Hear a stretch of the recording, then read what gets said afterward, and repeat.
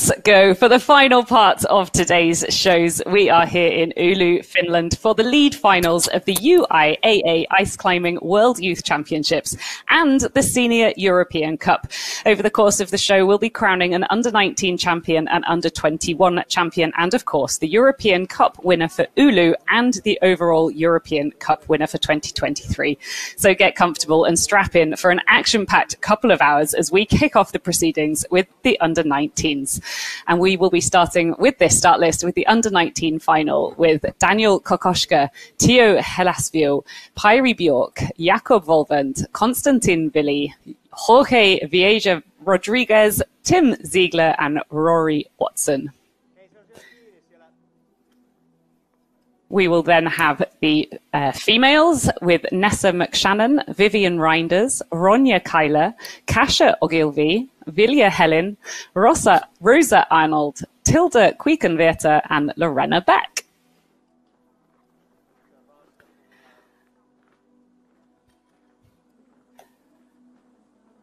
So I am joined today by Ryan McCauley from Team USA. You came fourth in speed in Saas-Fee. Thank you so much for joining me.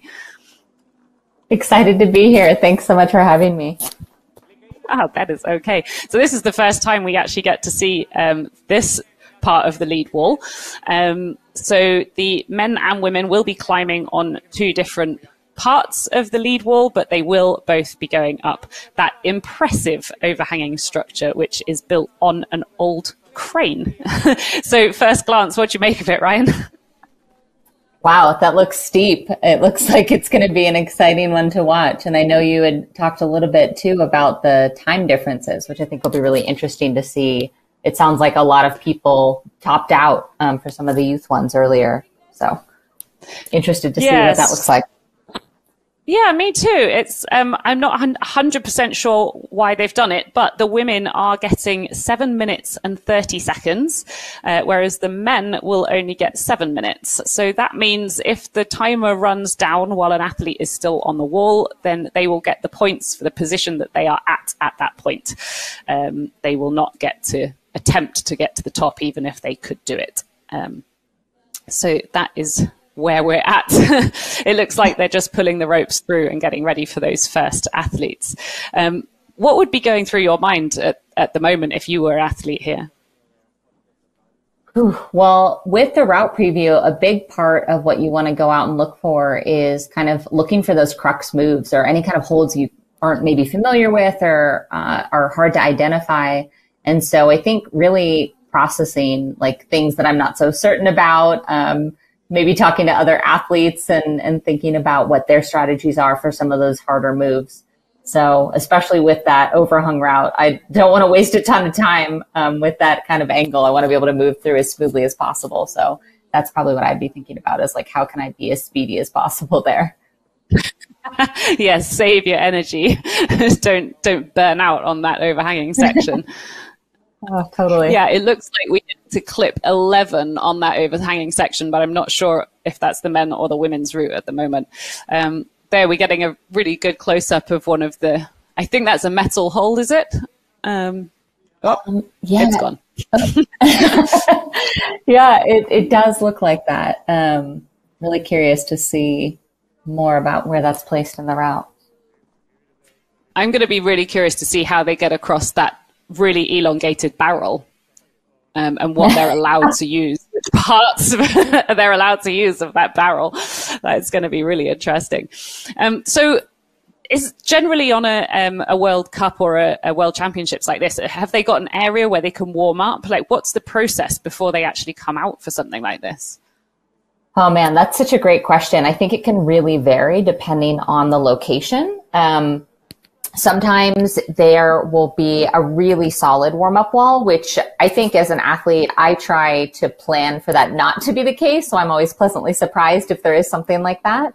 Um, and even if there is a really good warm up wall, it might be really small. So thinking really strategically about, okay, well, you know, who else is going to be using it? Do I have a time box? Um, oh, it looks like we're going. It looks like we have started with Nessa McShannon. So we're starting on the women's route. Um, yeah, feel free to finish what you were saying. Um, we can catch up with Nessa um, at any time. I'm sure she's going to make it through a long way. Yeah, uh, but with the the warm up walls, especially if it's outdoors too, I think that can play a whole different uh, mind game too of just staying warm. I know I've heard historically that Finland has been a very cold venue, so thinking about mm. are there areas I can go to warm up inside? Um, are there other ways that I want to be able to bring my own resources, like stretchy bands or things, to make sure that I'm able to warm up if I get there and there isn't a solid warm up wall? Um, so something definitely to take into account as I'm preparing to climb. Mm, that's really interesting. So you you don't necessarily know what you're arriving to, so you have to actually bring your own things with you just in case. yeah, and I've even talked with other teammates who sometimes will have very creative ways of warming up or, or stretching out like their shoulders. Um, and uh, it you may look like a little silly, kind of waving your arms around or doing different things, but um, it is possible. I know in last year the North American Championships at Ouray, I'm just like running up and down stairs even because there is a very small warm up ball and it can be very cold. So um, haven't been to Finland and can't speak to their warm up structure, but just knowing how cold it can be and how it's outside, outside um, I think mm. being prepared with backup plans just in case. Yeah, yeah. so it it looks like the, the women's wall is going to be um, on on the left, on the slightly less overhanging, and the men's is going to go right through that incredibly steep overhanging section. So we'll see where the women end up. I'm sure there will be some overhanging bits in their route as well. But um, the oh, Nessa has come off. So she has come off at clip number three and hold number 11. So she is currently in gold medal position. That's what it is showing on the right hand side. Uh, we'll keep talking about the graphics and what they mean as the competition goes on. Um, but that was a great start for the GB athlete, uh, Nessa McShannon.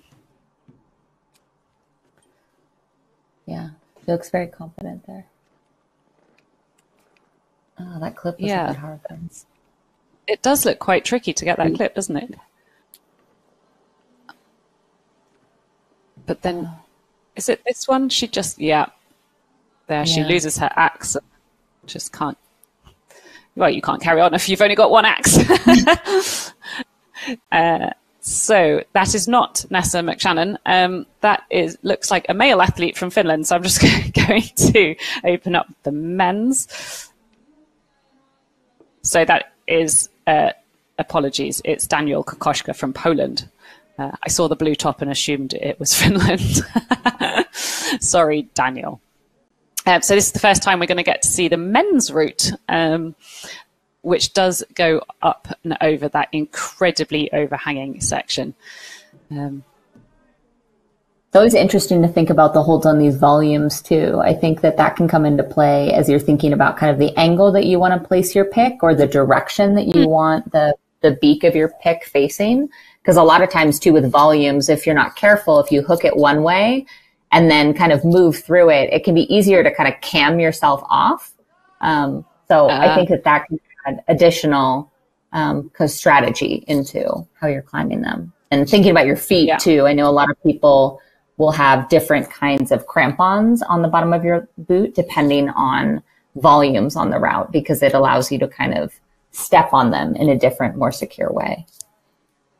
Okay, that's interesting. And I was also just because he is at a volume at the moment. Um, I remember in Saas-Fee, some of the volumes, um, the athletes were really struggling to actually kick into them because they were actually made of something different. So I suppose that comes into play as well. You've got to try and guess or, or know from the look of them whether you're going to be able to kick into the. Does that count as a fall or not? I think he's wondering too. Gosh no, he's not being allowed to carry on. So Daniel Kokoschka gets to hold number seven, clip number one. Um, so although he's in gold medal position at the moment, we do expect that to change quite quickly. uh, this is a replay um, of him falling. So we will go back to the women's now. Um, which means we should have Vivian Reinders up next from Finland. Um, she's probably a little bit surprised um, that she needs to be ready just yet. So um, she, we might have a small gap now. Vivian did climb this morning in the uh, speed championships. Uh, so it's going to be interesting to see. Some of our athletes did compete in speed and some of them didn't. So uh, some will be a little bit fresher than others, but you could argue that they haven't had as much warm up time. yeah. I do appreciate how the UIAA shifted around the way that they did kind of the scheduling or um, the timing that all the athletes would go. Um, previously, it wasn't kind of a set time to aim for. And so now things can move faster, but you don't have to necessarily start before the posted time that you're scheduled to go. And it gives you a better sense of how much time you have to warm up, how much time you have until you need to be ready. And if athletes are falling off faster than expected, um, it doesn't force you to, to have to be on the wall sooner. Um, so that's something that's been newer this season. And I really appreciated it, having a good sense of, okay, I can warm up within this box and make sure I'm not going to be super rushed or behind schedule. That's really interesting. So they're given a start time that they can choose to wait until that start time. They don't have to just go as soon as sort of their um, their slot is open. That that was my understanding when when we were competing uh, for the World Cup season, um, and before that hadn't been the case. You had had kind of the the start list, um, and it, it was a little bit more open ended um, and not always clear of what kind of timing um, to expect, mm. and so mm. having to pay a lot more attention to who's going. Um, and obviously still important because um, a lot of times things will continue to move ahead even if they're a little bit on pace and and it's probably more uh, frequent that it might be moving a little bit behind, but um, that was a, a, change that they made, I think, according to feedback. Oh, and it looks like they're uh, fixing a hold or something. Yeah, I just got a message through that there's been a tech incident on the men's, which is actually why. We- oh, yeah, you can see. Did you see the hold just came flying oh, off goodness. from that? So I wonder if he's going to be allowed to climb again. I assume he will because it came off as he pulled on it. Um, but for now, anyway, we are going to crack on with the women's. Um, so we will let you know what's going on um, in the men's competition as soon as we know. Um, but for now, we are cracking on with women. So it's Vivian Reinders who came eighth this morning in the speed finals um, and currently is sitting in eighth in the women's lead. But no doubt that will change as she makes her way up the wall.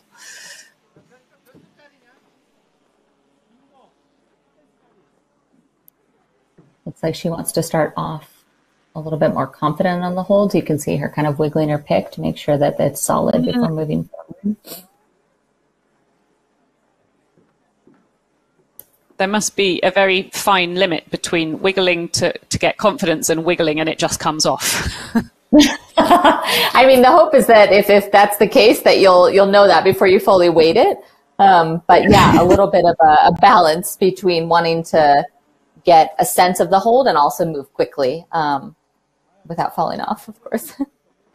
yeah, because of course, moving quickly is part of the game. Because if you do get to the same hold as somebody else, then the person who gets there fastest takes the that position. Um, yeah, which sounds like it's come into play a lot more than typical from what I've heard here. Yeah, certainly so far today, um, it really played a very, very big part in the men's competition. Um, lots of the under 16 men actually topping the route, uh, which meant that they then had to use the times um, that each of the guys got to the top. So a really massive factor in this morning's competition. So we'll wait and see if it becomes a factor in this one because we're only on our second female so far. Um, just struggling to get that in. But she's yeah. got it now, looking really secure. That's a great close up of her kicking into the wall. Oh, nice. Yeah, I love that. Interesting how she like really moved down. She was in first position and then kind of went to second and then slowly worked her feet up and so delicate of a balance to be able to continue to pull down on that first hold and make sure that you you don't pop off of that by going too high, but needing to get high enough to get to the stein. So finding that balance there with her feet and um, with how she's holding her tools. Yeah, really, really great footwork from uh, Vivian at that point. This looks like quite a tricky move. We've not seen this yet because she has now overtaken uh, Nessa McShannon. So these are all new holds and new moves that we're seeing.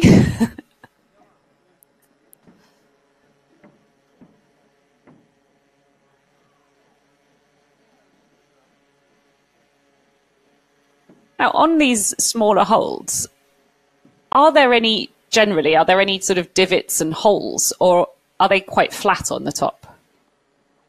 So it was interesting. I was just looking at that, um, the rock uh, hold that you can see that she had just moved out of.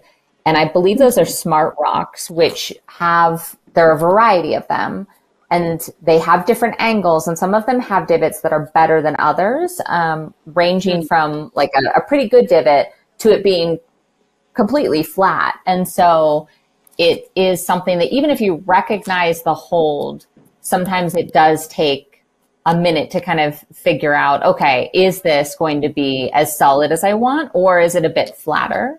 Um, mm. and so, and like some of these more like plastic or resin ones can also have a divot or be flat. And if you haven't seen it before, then that's part of where she might be wiggling her pick just to see like, is it going to slide into a divot? Like it feels good right now, but maybe if I get that little wiggle, and there is a divot there, mm-hmm. it could slide in and kind of settle before I really fully weight it. Um, so some of them you might recognize, but uh, it, it can vary too also on where the holds are from, where your training facilities are typically. Um, and so that that's why sometimes the athletes will kind of test it before moving on to it just to, to make sure it feels secure. That's amazing. So yeah, you really don't know until you're you're on it and you're sort of weighting it a little bit that you know that you've actually got the, the divot or the slot or, or that there isn't one. and South Korean holds, I think, are ones that are typically known to have um, kind of like one divot or spot that your your tool goes in very nicely. And so if you've climbed on them before, um, some of them, like a Christmas tree shape or something like that, you might know where the divot is. Um, but I know teammates who have been in finals and just weren't familiar with the hold and, and didn't know where the divot was. So it either took extra time or they even fell just because it was something that was unfamiliar. So oh, definitely wow. an advantage. You're familiar with some of those holds. Yeah. Yeah. And we should point out um, that although this is a Finnish athlete climbing on a Finnish wall, the setting has actually been done by a Korean um, setting team. So they might not necessarily be used to the sorts of moves and, and the style mm. of the climbing. Uh, that, that, that, they've put on. Um, so it's not always an advantage to be at your home wall. it can be if your home center is also there, but uh, yeah. not, not always. and that's tricky. You so, can kind of see her moving on the lower hold as she's going up. So something that mm. can definitely be very delicate. Yeah, and at one point, I'm not sure if she was still holding it backwards, but at one point she was holding her axe backwards on that lower hold. Um, mm. Yeah, uh, we call that reverse like, grip. Right, which, reverse grip. Yeah, which can be really valuable at times to make it like a bit more of a anatomically natural movement. Um, so you're not like fighting your body to go to the next place and kind of saving energy, but sometimes moving through, um, you just have to be, oh no, especially careful with the, the direction. I hope we see a replay of that. I'm not really sure what happened there. I mean, she's clearly only got one axe. Maybe she just dropped the axe, but she got to 7.2. Um, and you could just see in one of the previous shots that the men have started to climb at the same time. Um, so we now have um, our men's athlete. Uh, let me just make sure I'm telling you the right name. Uh, that is Teo Helasvu from Finland. So here's a quick yeah. replay lower down um, on her route, but maybe we'll see a replay of higher up. We will wait and see. Yeah, there's that reverse grip that she did have it briefly. Um, I really can't work out what happened there. It it kind of seemed like while she was going up, oh, oh, oh. man. while she was going up for that higher hold, yeah, couldn't tell if her her pick popped off first or her foot, but um, yeah, it seemed that she lost a bit of her balance there, and then um, wasn't able to hold on to the the left tool. Yeah, it all just seemed to sort of happen at once, didn't it? Um, and then we now have Teo also falling. So he's made it to clip two by the looks of things. I'm not sure which hold. I'll just try and work that out because it's not come up on the scoring yet. Um, have a look at my route map.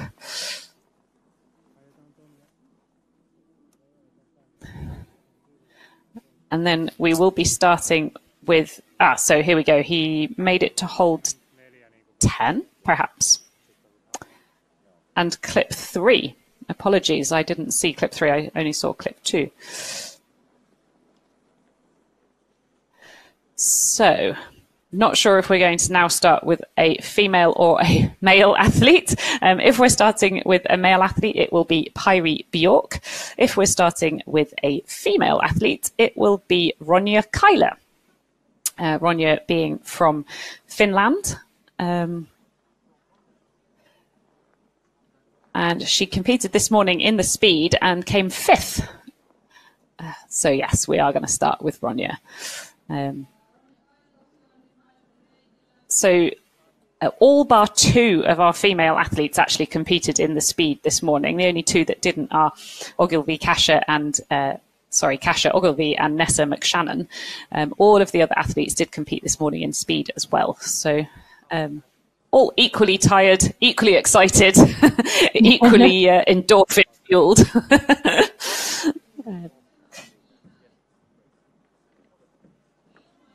Looks like she's competing on South Korean tools as well, which I think is always fun to look at and see which tools people are using. You can see they're a little bit more curved down, which gives you an advantage because you can go a little bit higher up um, from first position to second to even third position and it doesn't change the angle of your pick as much as some of the other tools out there like Xtreme say you don't really want to go into third position because it's going to pull your pick out at a, a starker angle.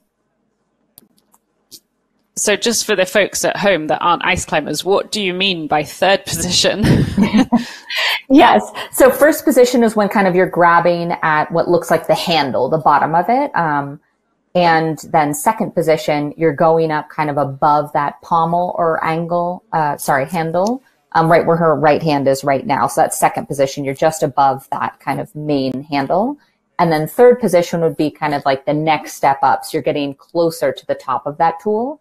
And so depending on how uh, sharp the, the curvature of your tool is, the higher up on the tool, um, can mean that you, if you are not right up against the wall with your, you actually can kind of uh, twist the position and the, the pick kind of starts to, to pull away from the wall, um, which you don't want. Um, it, it makes it so that it's much more likely to pop off those holds. But as you can see with those tools, they are a bit more hooked than some other tools. Mm-hmm. And so going from second to third, so a slightly higher, um, doesn't actually pull out from the wall as much. It pulls down nice. a little more. So why might an athlete not choose to have ones where you can use third position? Yeah, um, I think that because that is such a kind of curved angle, it takes a bit more getting used to um, when you potentially are used to climbing on something like extremes or Anchars out of Russia, um, then you have a bit more length um, down below where you can maybe match your hands in the kind of handle or first position. Um, and you might be just more comfortable without such a drastic angle.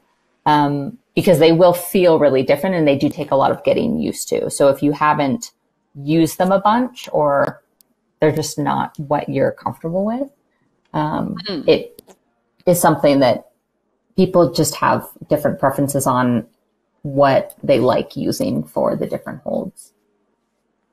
Yeah, I, that makes perfect sense. I mean, we all have a preference of what trainers we use to go running in, so why not something as technical as an ice axe as well? yeah, um, yeah.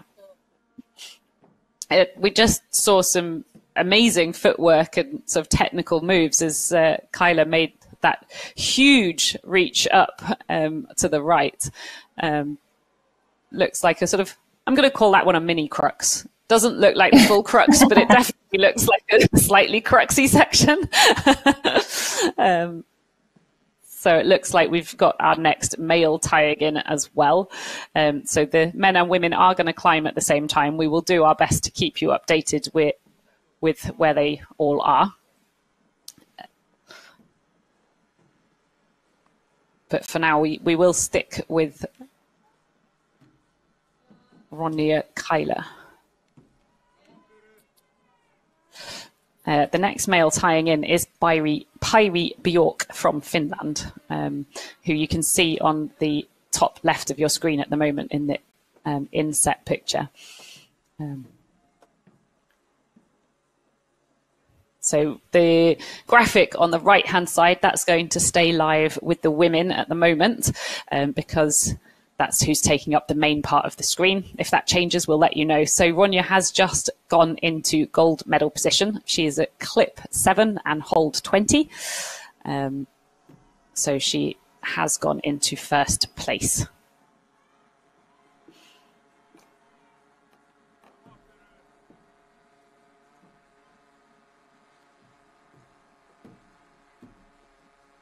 Looking really very strong on that Stein.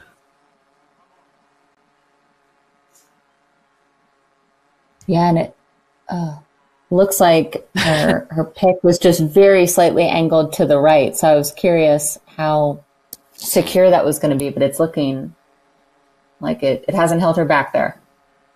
Yeah, a little stumble, a heart in the mouth moment, but uh, it looks like it, she's found the best position for it after that.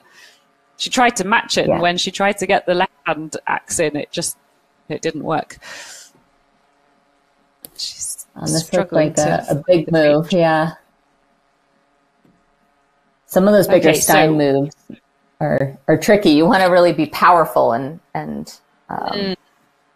you have to like move up really quickly to kind of get your weight up above your hips and onto your toes so that you can effectively grab that next hold. And you want to try and do it quickly as much as you can. Otherwise, you're you're kind of fighting your body to get up to the position where you can reach the next hold.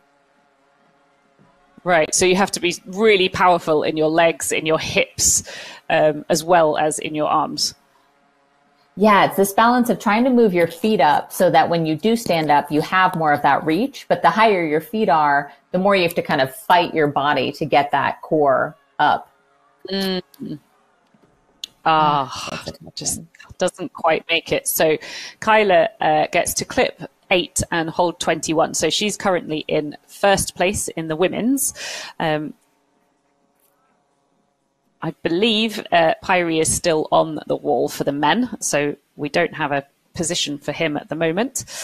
Um, but hopefully we will get back to the action with him very shortly. So here we go. Pyri making his way onto the steepest part of the men's route looks like he has got clip three. Um, I now can see where clip number three is that we couldn't see before because it was behind the uh, Teo's leg um, when we were watching him.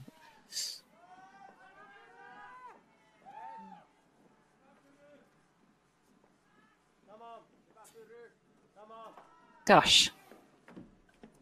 I was I was going to say it's going to be impressive if he gets out of that position. Everything got in a bit of a tangle didn't it? that was a little bit tricky. It looked like the last athlete was trying with a figure nine to kind of move over. This one trying to just see if it makes sense to to break free, but then you've got to be able to really pull yourself into a figure four. Otherwise, you're going to waste a lot of energy hanging there. So looks like a, yeah. a balancing move to get out there. Yeah, that really does look pretty tricky. And um, yeah, he just got himself a bit tangled in the ropes and, and then ended up on one arm. Obviously, it is possible to get out of uh, a one arm move. We've seen it in comps before, but, um, but, but, that takes some strength and it, it, did just look like he lost his axe. So um, he is on equal points with Teo at the moment, over 3.1 sorry, so that means he got to uh, clip three and hold 10. Um, so our next two athletes in the female, we will be starting off with um, Kasia Ogilvy, uh, will be our next female. And our next male will be uh, Jakob Volvend. Jakob, of course, uh, competing this morning um, and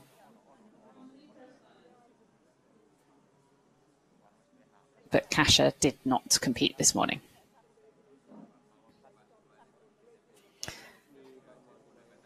Always fun um, trying to so, keep all of your layers on right until the very last moment there so you don't get too cold. And then you have a set amount of time to get started. So kind of trying to pull them all off without messing up your gloves and everything. It's always. Oh, wow. so once you come out into the arena, you, you've got a set amount of time before you actually have to yeah, get your hands on the axes. Yeah. And so you really want to be as ready to go as possible when you come out because you want to be able to tie in, make sure that you have kind of made eye contact with the, the belayer, you're ready to go, um, and have your gloves on. Um, I've, I've known like teammates that have come out and, and been a little bit flustered and the clock starts and they may not be ready oh, to climb. And so um, wanting to make sure that you are ready kind of within that minute timeline of getting out there. Wow. Yeah, so um, they can start. It's just that their time is already starting to run out. Yeah, they they just lose a little bit of time on the wall if they're not ready to go in the first minute there. So not ideal since time can be so precious. Absolutely. Oh, I didn't know that. Um, so, uh, Kasia, this is her first year in the under 19 categories. Um, last year, she did um, compete in the under 16s. Um, and she has also competed this year in Champagny and came 26th in the seniors in Champagny. Exciting. So, be- beginning to make her mark on the world tour.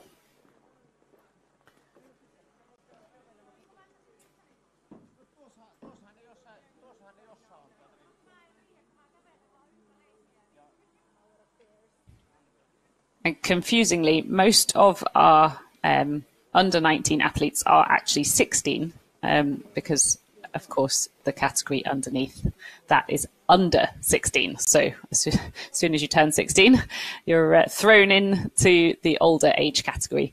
Um, so she's one of our 16 year old competitors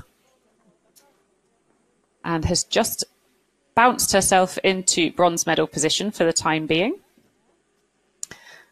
But let's see if she can get even further up the wall. As we get through these athletes, um, they they have come out in reverse order. So the athletes that got the highest yesterday will be coming out last. Um, so we would hope to see each athlete overtake the last, but you never know uh, what's going to happen with a competition like this. Think that's so interesting to think about age in these where I, I would imagine that it, it is a different head game. I didn't compete um, when I was in the youth category, but to think about competing with people maybe three years older than you when you're a youth, mm. I I think that would be just a, a different um, factor in kind of the preparation, the mental game, potential stress and at the same time could be a, a really great experience to be able to go in with a healthy mindset. So if you continue to compete into when you're an adult, I think get a lot of really good experience to improve. But I, I think that that would be really challenging. I think about where I was when I was 16 and I, I think those kinds of age gaps made a, a big difference to me at that time. Mm, yeah, absolutely. And in the men's, we do have a, as big as an age gap as you can have within an age category. So we've got some climbers who are 15 because they're going to turn 16 this year, um, and some athletes who are 19 because they've turned 19 this year. So it's a four year age gap um, sort of in the um, men's under 19 category and so much can happen you know you can grow so much in that time um, I, I, was talking earlier about the height differences between some of the climbers. It, oh it's gosh, yeah. yeah it's incredible. Um, and the route setters do an incredible job setting for that diversity as well. Um, yeah because That's of course we will such a hard task. Coming yeah, such a hard task because uh, I believe the adults are going to climb the same route. Um, so the ones taking part in the European Championships are going to climb as well. So you've got 15 year olds all the way through to sort of 30 year olds um, competing yeah. on this route. So. I mean, I thinking about some stuff. of the moves we've seen so far, like being stretched out like that on the men's route, trying to get around that volume, or like the big mm-hmm. Stein moves for the women even the the one happening right now on the women's route, like those can be very height dependent, and you'll have to just do them in a different way. Think more strategically yeah. about your feet. Um, but yeah, that's a big difference. And and to your point, I think with training and with what your body is able to like take on with training and what you need to be able to stay healthy and like in terms of nutrition as you're growing, I think it can look really different for a four year age gap like that. Yeah, absolutely. Your training load and also what you're experiencing at school and, um, you know, whether you're going through uh, exam periods or not, because obviously through the different ages, you have a different mental load as well. Um, so, yeah, these athletes are all going through very different things, but they're competing on the same world stage and on the same route. So it's, yeah, it's interesting to see what they manage to achieve. Um, Kasia is about to hopefully um, go into first place on the women's route. Um, and Jakob Volvend on the men's route um, is just getting to the same point where everybody else has fallen so far. So let's see if he can get a little bit further um, and put himself into gold medal position. Of course, because of his qualification, if he gets that hold, which he does, he will. Oh, commentator's curse. Uh, he will move into gold medal position anyway, just because of his qualification, but he's not actually got it just yet. Um, I'm, I'm going to stop cursing you. Sorry, Jakob. there we go. So he does move himself into. Oh, I think that might have been a full fall. Yes, it was. So he also like gets three points. It does seem like a really, really big, powerful move, that one. It'll be interesting to see how it's done when it does get done eventually. Yeah, it's just hard from that uh, vantage point to see if your pick is is in that hold the way you want it to be. Like there, it's not actually in, but it looks like it's on the backer plate enough to kind of feel like you have some security there until you weight it and, and realize it's not where you want it to be. Absolutely. Yeah, even from where we were sat, it, it did actually look like it was on properly. I was sort of thinking, oh, this is it, right? We're going to see how it's done. But nope, that popped off. So we are back on the women's route with um, Kasia. Looking a little tired now, a bit of a shake of the head, a bit frustrated by another big move, it looks like and that is her timing out. So she has uh, reached clip number nine, hold 22. So she is currently safely in gold medal position.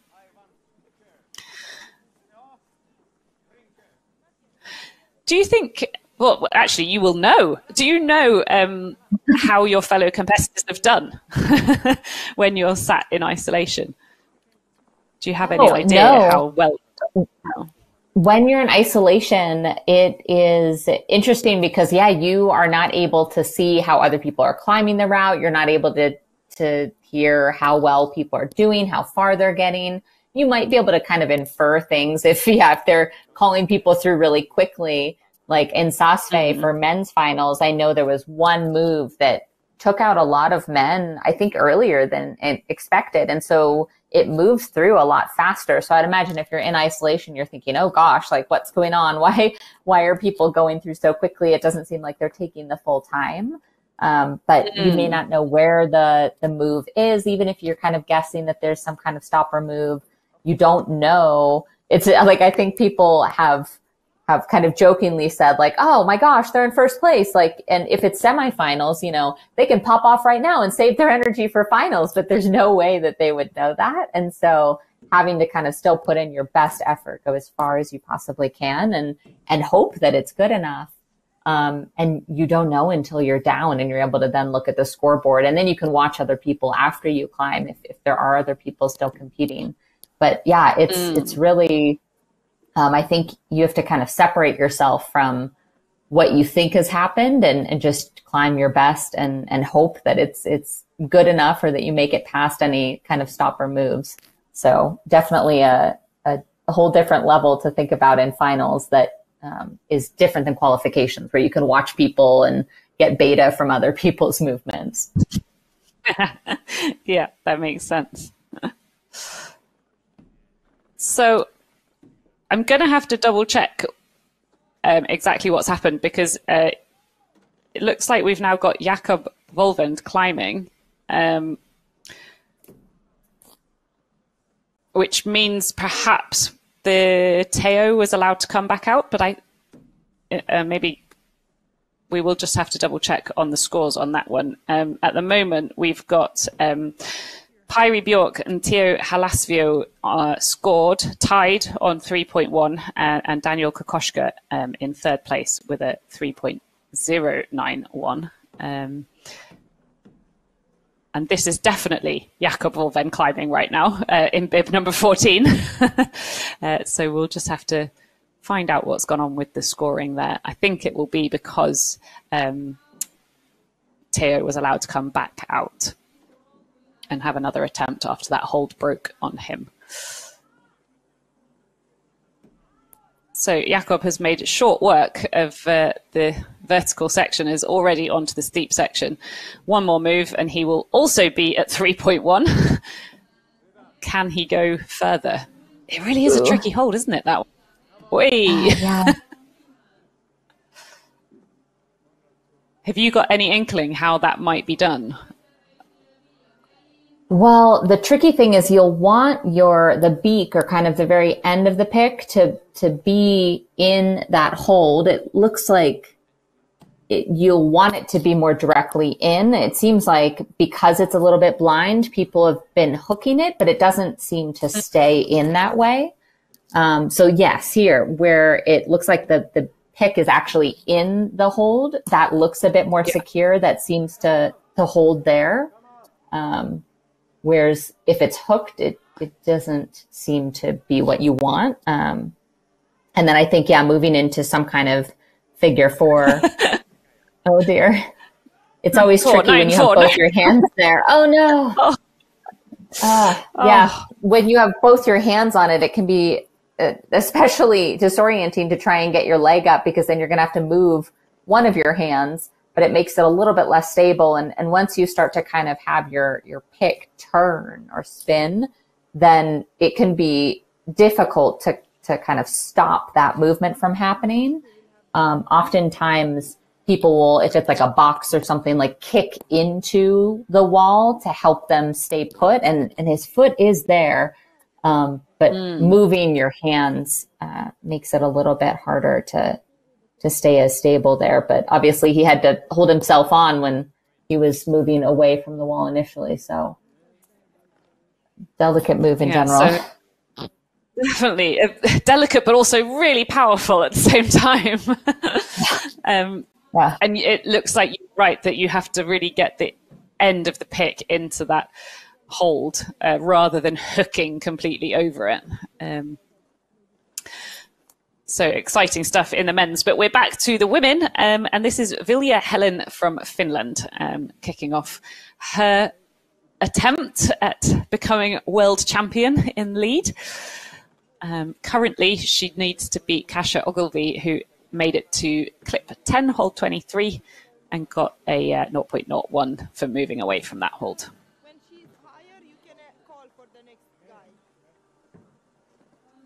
So her first target is Nessa McShannon, um, who made it to clip two, hold 10. Uh, that's what you can see on the right hand side uh, on the leader bar. Um, each time she puts her pick onto a hold and makes positive movement, you'll see that number change. So it's just changed to hold number eight. Um, and so she's moving her way towards Nessa McShannon's fourth place.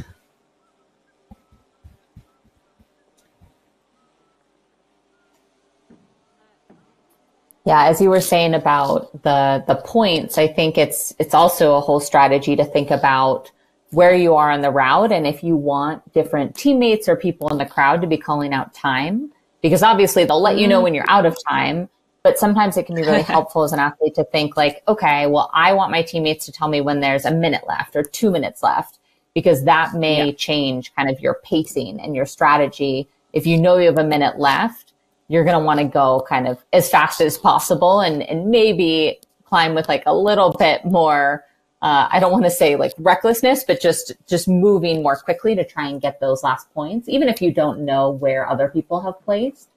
And they may then change their strategy to like really go for a clip in that moment or to even like reach out and tap the next hold to try and get as many points as possible. So that's something that I think is also going through the athlete's head, uh, especially as they're getting a little bit higher to think about their points and how they can just like get as much as possible in those final moments.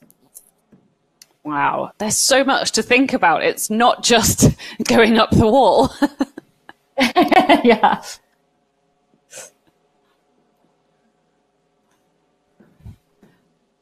So I've just been told that it was Daniel that reclimbed. So apologies for getting that wrong. Um, Daniel was allowed to reclimb because of the hold.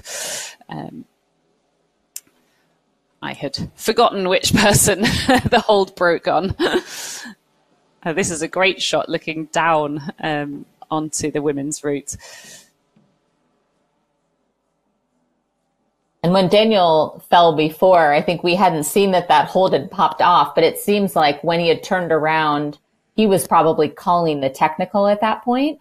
Because interestingly, with technicals, that's something you have to call right away. So if there is an ah. issue with the route or like a clip is upside down or something and you want to get that technical to have the opportunity to start again, you have to call it immediately. If you wait, then it may not be honored. And there are also times when maybe if a clip's upside down or something like that and you have the opportunity to call it technical, but maybe you're high enough on the route and the thought of like climbing the route all over again is actually quite exhausting. And maybe you made it through a crux move that you're like, I don't know if I'm to have the energy to do it again. and you would rather just be like, let me just fix this clip and move through it. People may not call the mm. technical in those moments because it, it's not actually that advantageous. However, yes, yeah. if you rip a hold off and it causes you to fall, that's probably when you're going to want to call immediately to make sure that you do yeah. get that extra time. and he was lower, so made a lot of sense for him. Yeah, definitely. Um, so just to update everybody, um, this is Konstantin Billy on the men's route. He's just starting off. Um, this is our now current world champion speed athlete in the under 19s. Um, so let's see if he can speed his way up the lead wall. See if he can get past that crux move that so far has uh, challenged all of the other men. Vilja has also just climbed her way into third position for now.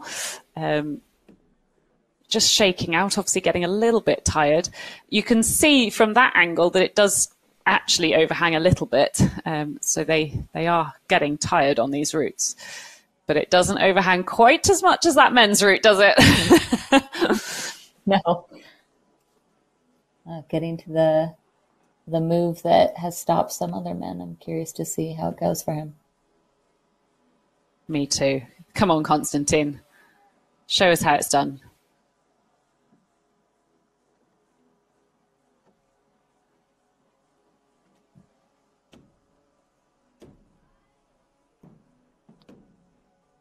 Question is, is it possible to do without cutting loose?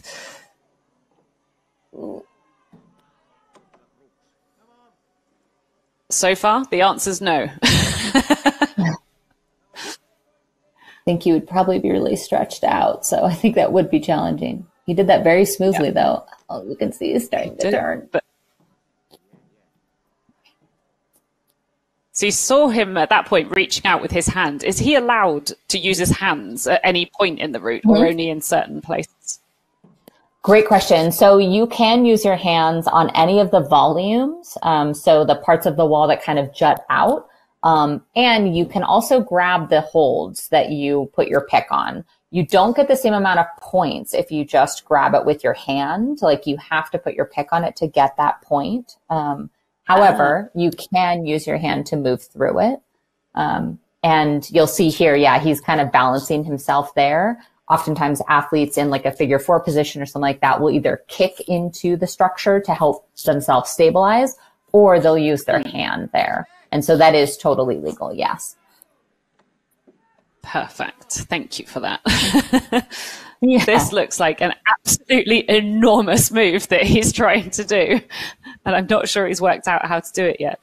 Um, in the meantime, look to the left. Um, Vilja is was doing amazingly on the women's.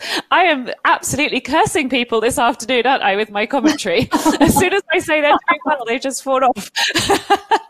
I do apologise, Vilja. Um, so Vilja Helen uh, does go into first place for now with a 9.25. Um, and sadly, we still haven't seen quite how the next move is done on the men's. um, I not sure. I think he will get an extra um, bonus point because he did, ouch, move uh, move away from the hold a bit. But we shall see if the judge gives him extra.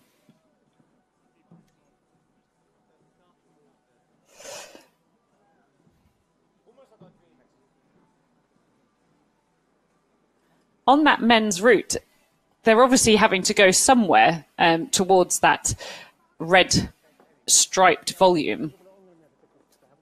I can't imagine it's going to be a dyno because of the position that you're going from, but have you got any idea how they might be moving away from there? It looks like if you're in a figure four, I believe you should be able to kind of swing and reach that next kind of icicle structure uh, or volume. Mm-hmm. But it's a little hard to say how far that is. Um, I think it would be particularly hard to do a dyno where you're really releasing from that last hold you're on. Um, yeah.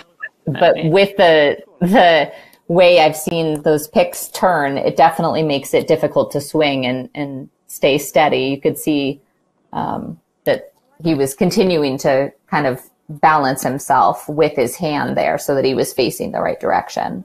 Um, and I should say too, I know you had asked about like using your hands and um, touching things on the route.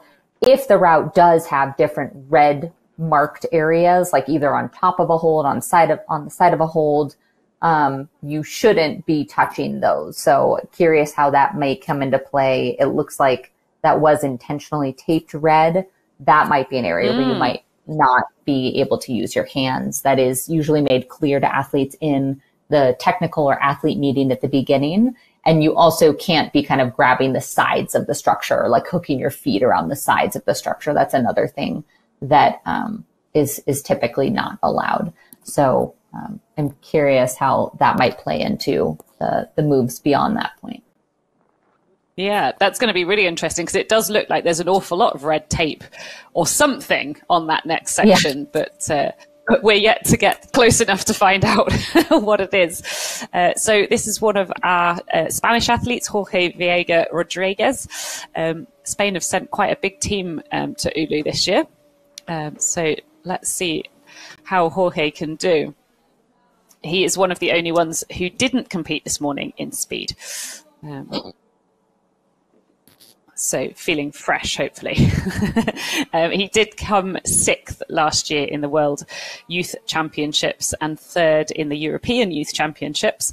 Um, but he did also compete as an adult last weekend in uh, Glasgow and came seventh. So hopefully we might see him cruise past the crux. Fingers crossed.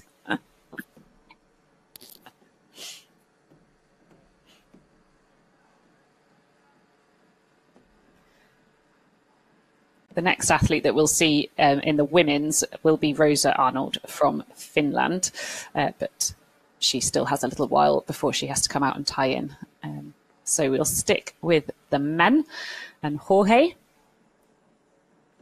who's very rapidly made it up to this point. Only using 15 seconds so far. Sorry, wow. one minute and 15 seconds of his time. maths was never my strong point at school.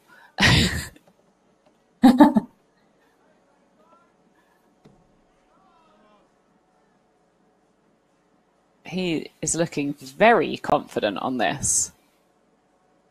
He also was very smooth in how he released his other tool. I was wondering about that when he kind of went into uh, the figure four. You could see that he still was kind of weighting that first tool. And so there is a bit more uh, strategy in how to release that without just completely giving yourself a big swing. So he did that very smoothly. And figure four right so onto far. that dagger. yeah, this is textbook so far, isn't it? I mean, he's barely even taken a breath. It's so, so smooth uh, going into a figure nine.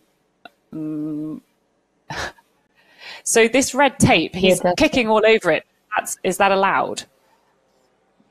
I am curious what they may have gone over at the athlete meeting um, because mm-hmm. it typically, yes, red means that you want to be avoiding it. And you can see he does appear to be very thoughtful about his footwork, but it also yeah. is, it, it there's a lot of red tape around the corners. And so I imagine that that is, you don't want to be like hooking around it. You don't want to be like grabbing your hand around the corner or edges of it to give yourself that advantage. But I mean, it, it also, I mean, I would think you'd want to be kicking into parts of it along the way as you're moving up. So I'm curious how they spoke about that to the athletes. Yeah, that would be great to know. We'll see if we can find out. Um, he's still there. He has managed to get the next hold. Uh, we missed that while uh, Rosa was setting off um, for her campaign. It looks incredibly awkward, this sort of plywood icicle, let's call it. you can see he kicked in to the side, kind of in between the red, and it seems to be very careful in how mm. he's hmm. choosing to kick in. Looks, yes, very awkward.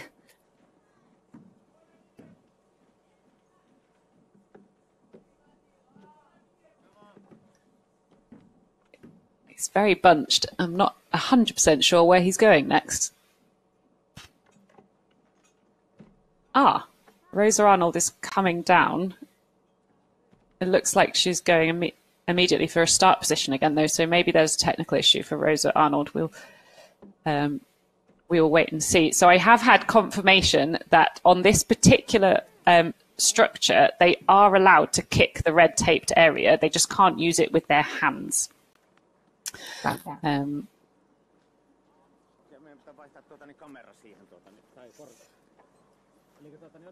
so Rosa Arnold confirmed, sadly, as falling um, at uh, clip one and hold eight and not being allowed to go back on. Um, so her campaign is over, uh, currently sitting in last place. So we only have two women left. So um, our current third place, uh, first place athlete is guaranteed third place, which means Vilja Helen is guaranteed a podium position. It's really tricky because I know that in some of the World Cups, there were different judgment calls made about certain surfaces that athletes are not supposed to touch. And in some cases, um, athletes were penalized for touching certain surfaces, but in other cases, athletes, like if they touched it, but they didn't really like get a usable surface or didn't use it to their advantage to continue to move through, it was deemed okay. And I think that kind of varied by what was said in the athlete meeting, the different location, who was judging. And I, I think that is a really difficult position to be in as a judge to try and think about mm-hmm. um, what's acceptable, what's not. But I know that that did end up making a few differences in the podium, especially I think around Champagny. Um, and so uh, I'm, yeah, I, I think it looks like it, it might be a, a difficult one to, to judge with that icicle. And so it, it makes sense that being able to kick into that area, it would be incredibly difficult to fully avoid that um, with your feet um, just because of the awkwardness. So having it mm. be really your hand that you can't use, that's a bit more clear, um, a bit easier to, to see from the ground. Yeah. Yeah. Easier to see from the ground. And he, I think it, it looks like it would be almost impossible to do without kicking the red tape um, because there's mm-hmm. so much of it for that particular section. Um, obviously, every section is is different. Um, so Jorge uh, Vieja Rodriguez uh, has guaranteed himself a place on the podium. He is currently sat in first place with 5.12 as a score, um, with only two athletes to go. So um, thank you very much. Uh, there we go. We have uh, Viega Rodriguez in first, uh, Vili in second, and Volvent in third. Uh, but we do still have two more athletes to go in the men's and in the women's. So we will see what happens. Uh, these are our women's scores. So currently we have Helen in first place, Ogilvy in second place, and Kyla in third place. And pulling onto the wall now is Tilda Quickenwerter. So can she beat Vilja Helen? Can she take home gold for Finland?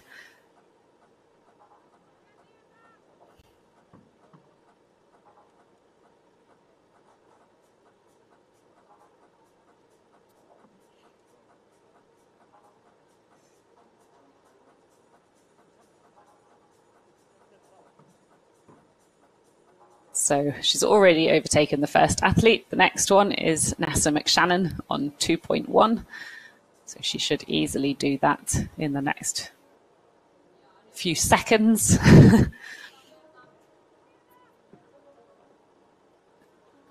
and in the men's, the next athlete we see in the men's will be Tim Ziegler from Switzerland.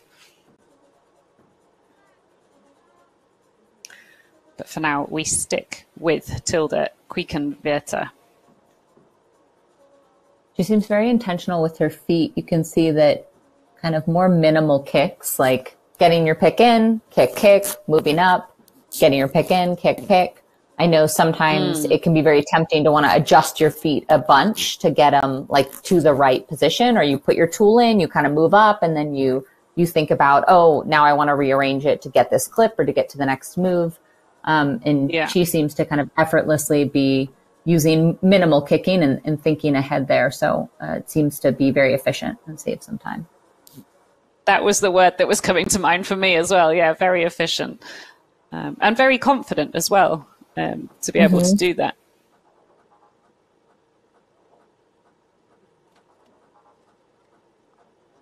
Someone I used to climb with um, used to challenge us always to move to a hold and then not move your hand or your foot um, until you are moving to the next hold. So you're not allowed to rejig, and it really encourages you to climb better. Um, and I assume it's the same with ice climbing.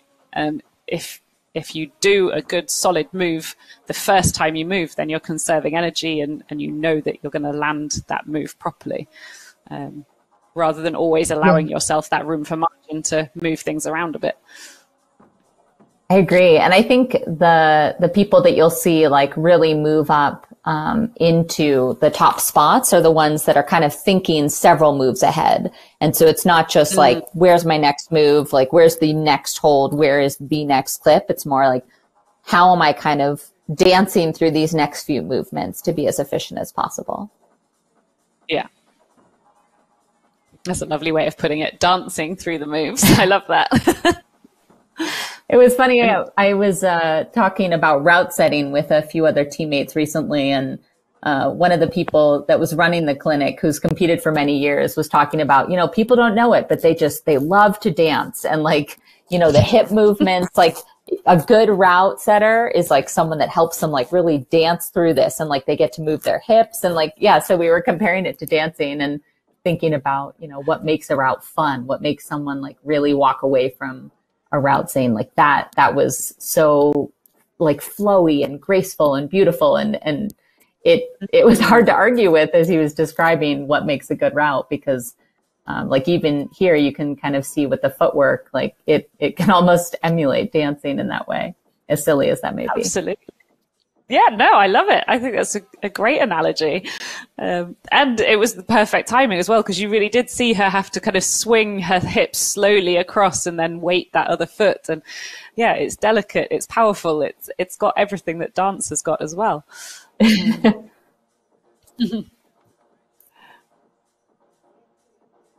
So just looking at the movement of the rope on the right hand side there, I think we are probably uh, getting tied in with Tim Ziegler as well on the men's route.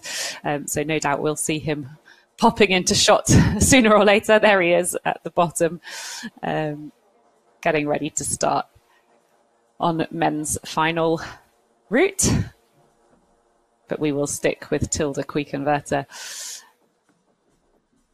look at that. Three Finns on the leaderboard at the moment. Um, they are separated, I think, by a non-Finn athlete, but let me just double check that for you. or we'll find out if she climbs past Rosa. Ronja, apologies. Ronja Kyler, not Rosa.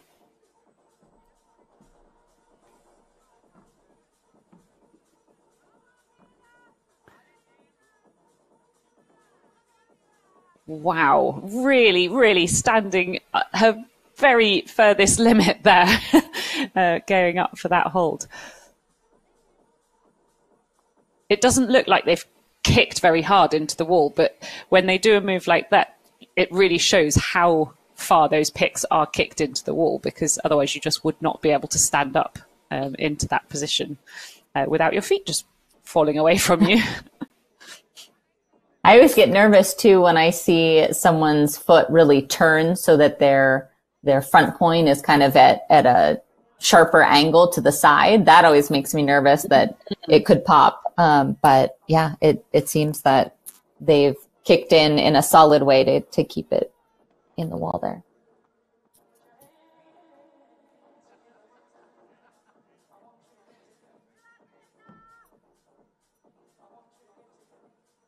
So the finish, I thought that it was a full Finn uh, podium, but at the moment uh, the uh, podium is separated by a GB athlete, uh, Kasia Ogilvy, um, who you can now see on the leader bar on the right hand side. Um, and then in the inset picture, we have got Tim Ziegler, who is making his way up to that crux, uh, first crux on the men's, we don't know yet if there's a second crux. I'm sure there will be. As Tilda try and navigates this wobbly block um, with her left axe. It was a powerful move to get there too. I know we had seen a couple of people fall off. It looked like a floating undercling um, to get up to that volume, which always takes a lot of core tension there to be able to move through as smoothly as she did. Yeah. You could see her just turning around there as well, to, I assume, to check the time. Oh. Um, sadly, if she had just moved off, she might have made it a little bit further, but I think she burned some time and energy checking the time there. Oh, and Tim Ziegler is also down. Um,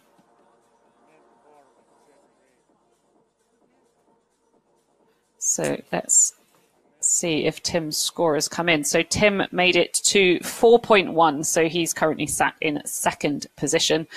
Um, so Jorge is still in first position, guaranteed second position. Tim is guaranteed third position. Here you see the moment, I think, of them both mm. falling.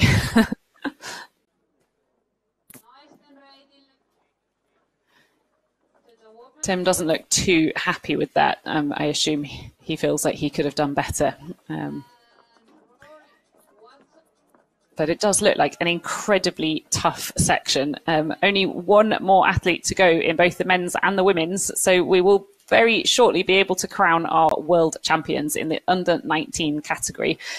Let's see if Rory Watson can make it past that crux. Show us what else is on the men's route.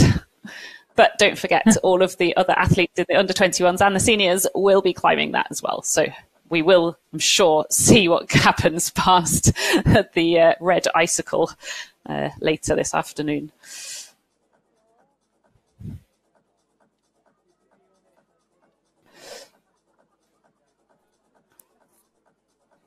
So our final athletes to come out will be Rory Watson in the men's um, and Lorena Beck from Liechtenstein in the women's.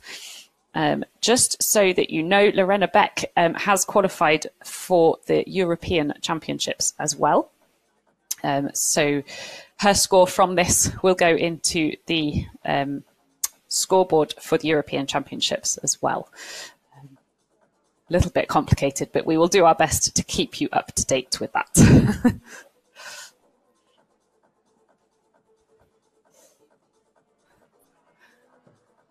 So we've obviously just got a slight delay. Oh, as soon as I said that, we get Lorena on the wall. Uh, so Lorena from Liechtenstein. Um, let's see what she can do. She is already a world champion. She uh, won this morning in the speed event. Can she be double world champion?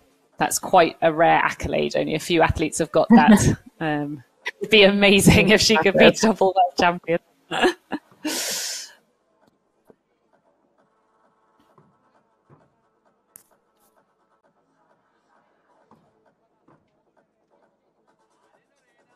looking very confident on that matched pull up there. Very smooth, yeah.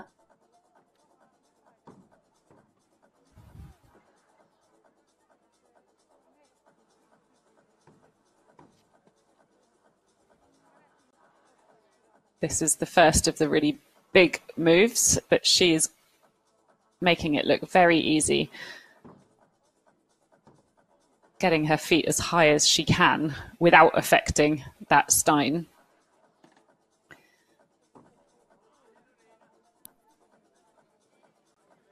I think it can be so tempting, especially like during finals or when you know you're you're ranked pretty high, to want to just start out the gate like really fast and like just blow through. You know, at the start, also a lot of times the holds are a little more secure to help you kind of get up through the top rope section to start getting on lead. And it seems like uh, she's been super intentional with thinking about moving at a consistent, uh, controlled pace, which is ultimately like slow is fast, and that that's going to get you up a little bit higher. And you can always start to kind of pick up the pace as you are getting confident and getting familiar with the route as well. Mm. Yes, smooth is fast is so true in so many sports. um, if, if, it looks fast, it often actually isn't. Um, yeah. Um, and she's obviously got an awful lot of experience. She has been competing in the World Cups this year um, as a senior athlete. So although she's still only in the under 19s, um, she has been competing in the seniors um, and has made 20th in Champagny and 23rd in Saas-Fee. So she's done really, really well this season already. Um, and I think that experience is showing in her movements and, and how she's approaching this finals. Definitely.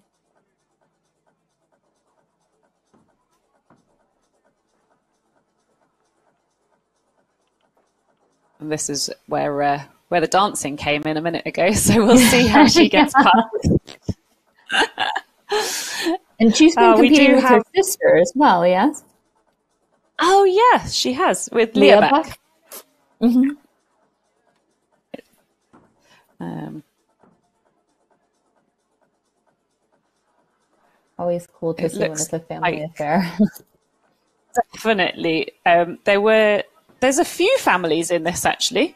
Um, there's mm-hmm. a father and son competing um, this weekend, which I think is fantastic. Oh, wow. um, and uh, and yeah, various brothers and sisters uh, and sisters. so Rory Watson I believe, has just started. Yes, you can just see him behind the um, whatever that tower is.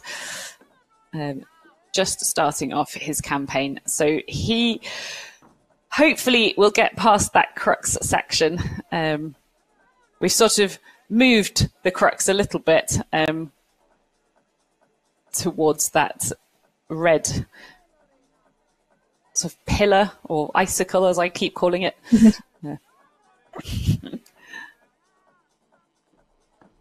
And Lorena is absolutely cruising up this so far. Making it look She's one of the really big moves, so we'll see how she gets on. Very smooth. Currently in fifth place. Ronja Kyler Oh, she's just overtaken Ronja Kyler. So she's now in fourth. And here we have Rory Watson from the UK. Getting his legs a little tangled in the rope, but immediately knowing to not hook that hold. So that's interesting. He read that straight away, um, just like Jorge did. And now we're back with Lorena again. Currently in fourth. Oh no, Rory has come off. That means we do have our world champion is from Spain, Jorge Rodriguez. Congratulations. You are a world champion. Absolutely fantastic achievement for Jorge will confirm all the results at the end of this, of course. Um, so now we will stick with uh, Lorena Beck, who is still hoping to go home a double world champion.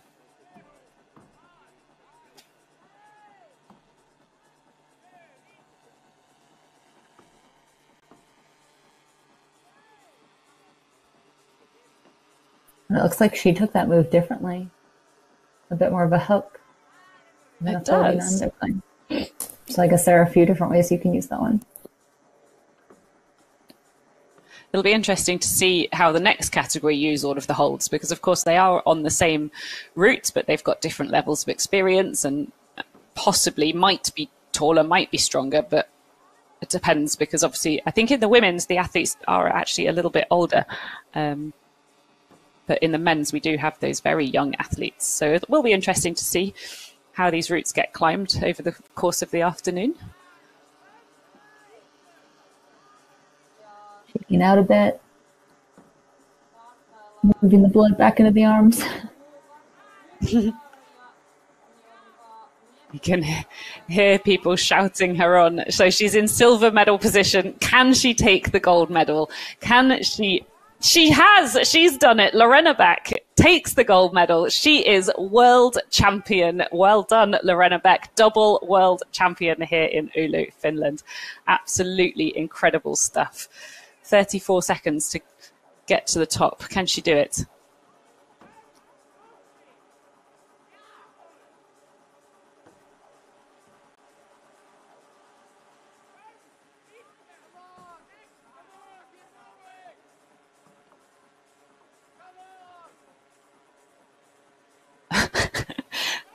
This is a.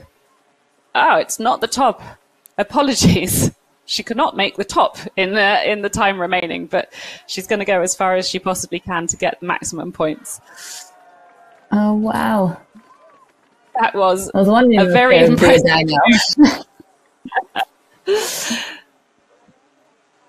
so she knows that her score goes into the um, European championship as well. So although she's just taken gold in the World Youth Championships, that score will also go into the European Cup. Um, and she'll be hoping to get a good finish out of that. So that's why she was going for absolute maximum points um, and making that dyno across.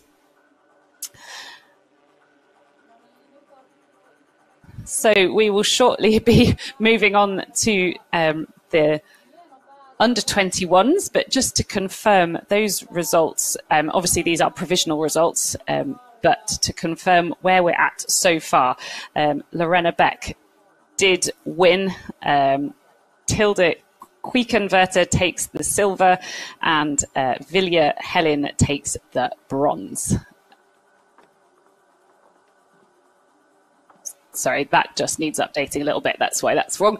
Um, so the, in the men's, Jorge Vieja Rodriguez takes the gold medal. Tim Ziegler takes the silver medal. Constantine Willi takes the third bronze medal and Rory Watson in fourth. Jakob Rolvend in fifth, Pyri Bjork in sixth and Tio Halaspio in seventh with Daniel Kokoschka bringing up the rear in eighth.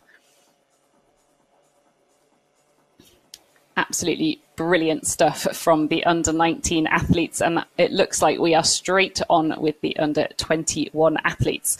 Um, so, sorry. Yes, the under 21 athletes. Getting myself muddled up there. um, so we are starting with Lauri Tuppurainen from Finland on the men's route.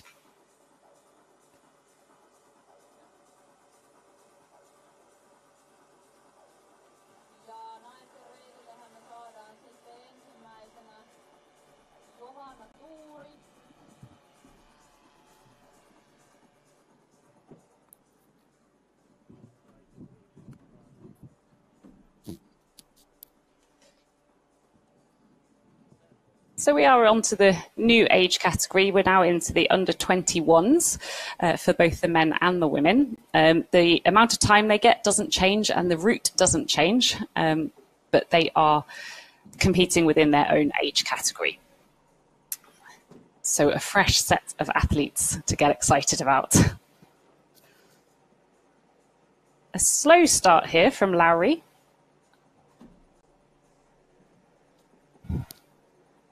a bit timid.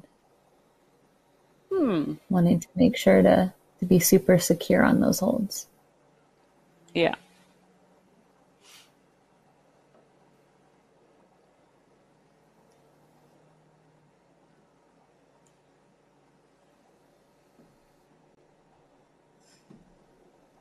So, as far as I'm aware, he hasn't actually competed in any other uh, lead events for the UIAA. Um, so this is his first major competition, and he's already come third in the speed today. So having an absolutely brilliant start to his career.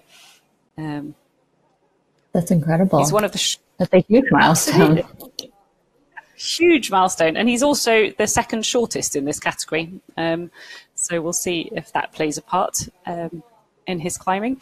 He's the oldest but the second shortest.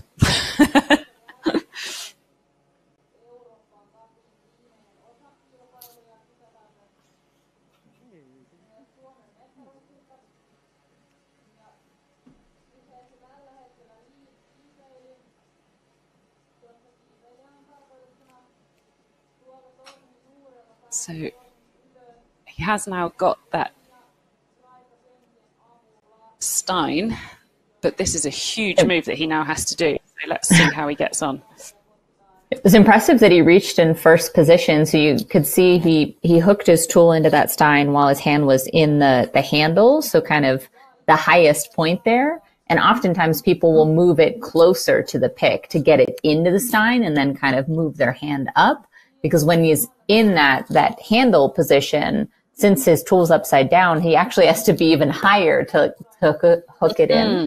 And so, um, just hearing you say that he was the, the second shortest, I, I think that that was impressive being able to, to hook it in there like that because that was a pretty big reach for him. Yeah.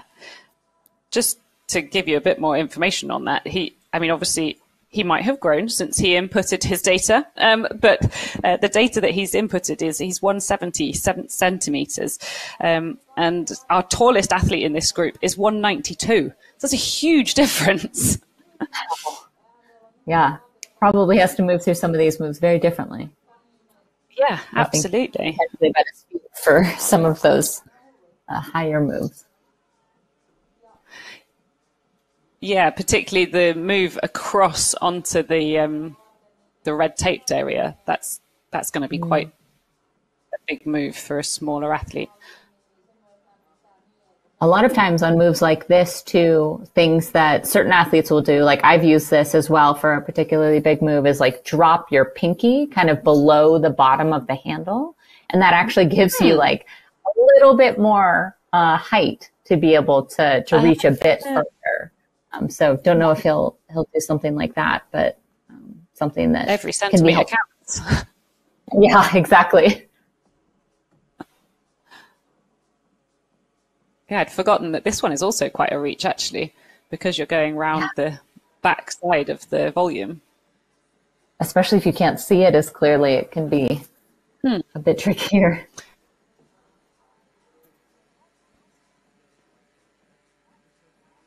So just getting tied in now um, is our first of our under 21 female finalists, um, Johanna Turi. We actually only have three under 21 female finalists, so this is already an exciting podium performance, just so you know.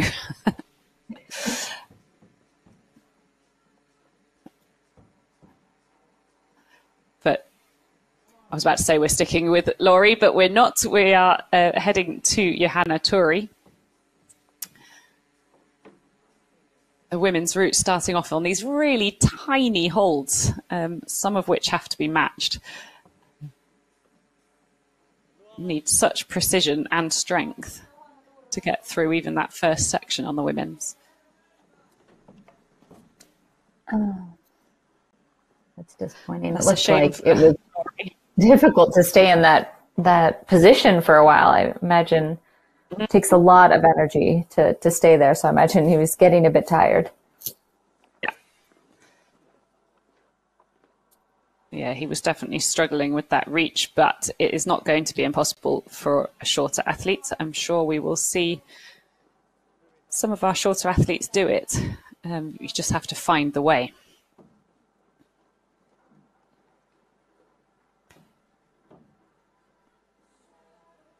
So in the men's, um, once they've swapped over, we will have Bence Rigo Carminas from Hungary. But for now, we still have uh, Johanna Turi on the wall on the women's.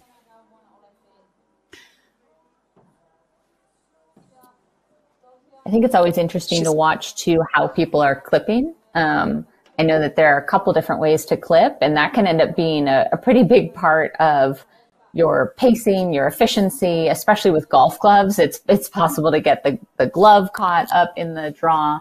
Um, and knowing that that's something that can make such a big difference for points, that's something that mm. athletes will, will sometimes train for throughout the season too, just to make sure that their clipping isn't something that holds them back because you could be the strongest athlete out there. But if, if you're slow or inefficient at clipping or getting your glove caught in the draw, that can, it can really uh, put a damper on your performance as well. Definitely, that's a really good point. So they actually have to sort of dangle around at home and practice clipping uh, with their gloves on. I mean, I think yeah, some some athletes will. Um, I I know there are a couple different strategies, and it can be interesting, especially thinking about youth who maybe have come into this sport through other um, climbing disciplines, other competitive, uh, like sport climbing or bouldering. Um, I think that oftentimes there are different ways that tend to be taught at the the start of those mm. disciplines and depending on where you are located as well i think it can look different in europe versus uh, north america and uh, i know that for myself i kind of learned one way that i don't think is the most efficient and used that for about a decade with sport climbing and it was great because in sport climbing, oftentimes you're you're moving a little slower. You have time to think about where you want to go mm-hmm. next, especially if you're not competing. And then realizing that, especially with draws that might be dangling out into space, like by some of those icicle holds, that's maybe not the, the way I want to be clipping if I'm trying to go as efficiently and quickly as possible. Um, and so uh, I've been trying to practice more even while sport climbing or while climbing for dry tooling, um, having kind of uh, more ways to clip that I can pull mm. from as opposed to just one way that may not be ideal in certain circumstances. Yeah, that makes sense. Um, also, you already mentioned when you were talking about that that they might get their gloves clipped in the drawer. The gloves are actually something you have to wear, aren't they? Yes, mm-hmm. you do have to have gloves, and there are different gloves that people tend to prefer, similar to tools. Um, I think some people will be more particular about like real leather versus fake leather, and and look at different kind of grip um, on the, the, gloves available out there for dry tooling. Um, but uh, a lot of people would just kind of use uh, the typical like golf FJ uh, FootJoy gloves. So uh, huh. can really vary. Yeah. So it's it's more about grip than it is about being cold. Um, and about yeah, it's it's interesting. I I think sometimes if you're just 100% ice climbing, uh, you might wear slightly thicker gloves for the warmth However, there is a fine line between the thicker the glove, often you have to, uh, it, it, prevents you from being able to grip your tool as easily because you have kind of a, a, wider grip or pinch if your glove is is thicker, and so you actually can pump out faster. Your your muscles in your hand will get sore much quicker, um, and it does limit I... some of that dexterity. And so there is a fine line between yes, the thin golf gloves are not going to keep you very warm. And there are not a lot of options out there that are, are going to make a substantial difference in terms of warmth. So it's going to be more important that you have that dexterity um, and you aren't pumping out unnecessarily because of mm. the gloves. That makes sense. As we just see, um, that was great timing. Bence fell just as you finished there. um, and it looks like he might have got um, a couple of holes further than uh, Lauri did, uh, but we'll wait for that score to come in. Um, I should point out that the clock that was displayed um, while um, the female athlete Johanna was on was the clock for the men, so she does not have uh, four minutes remaining. Um,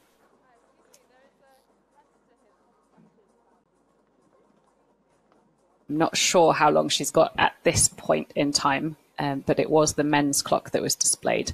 Um,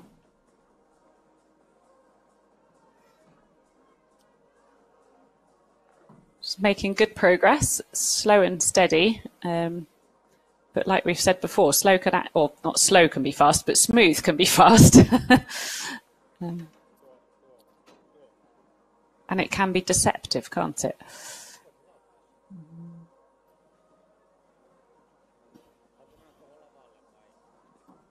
So Johanna Turi is on 10.24 at the moment. Still with time in hand. We'll see where she gets to.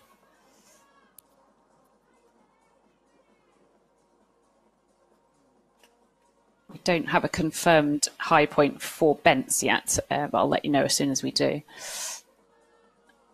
But for now, let's see how Johanna gets through this quite tricky section with this block that's moving. How much does that affect you that the block is actually moving around like that?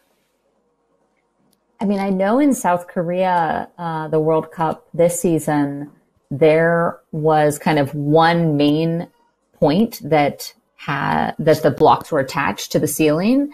And a lot of athletes, especially with clips, like it started spinning and they had a lot of trouble being able to kind of stay in the direction they wanted to be and to be able to reach some of the clips. There were some people that would start to reach for a clip and then it would start turning and they had to kind of rearrange themselves, go from figure nine to figure four and go back and forth to maintain that energy and shake out their hands. And so it played a big role um, in mm. that World Cup. And I think it can be interesting depending on how many points of connection the different volumes have to the wall because it will make a difference how much it will spin.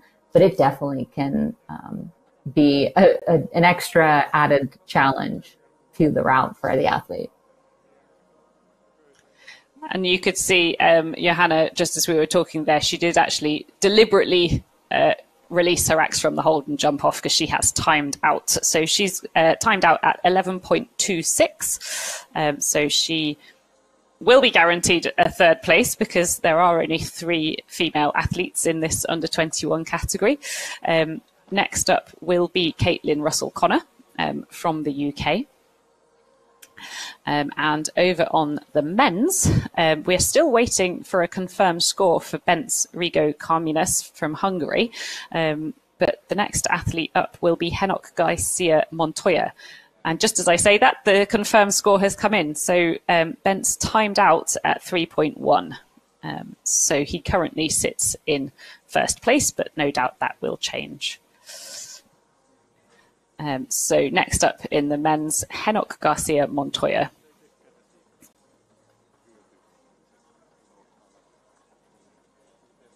And here he is.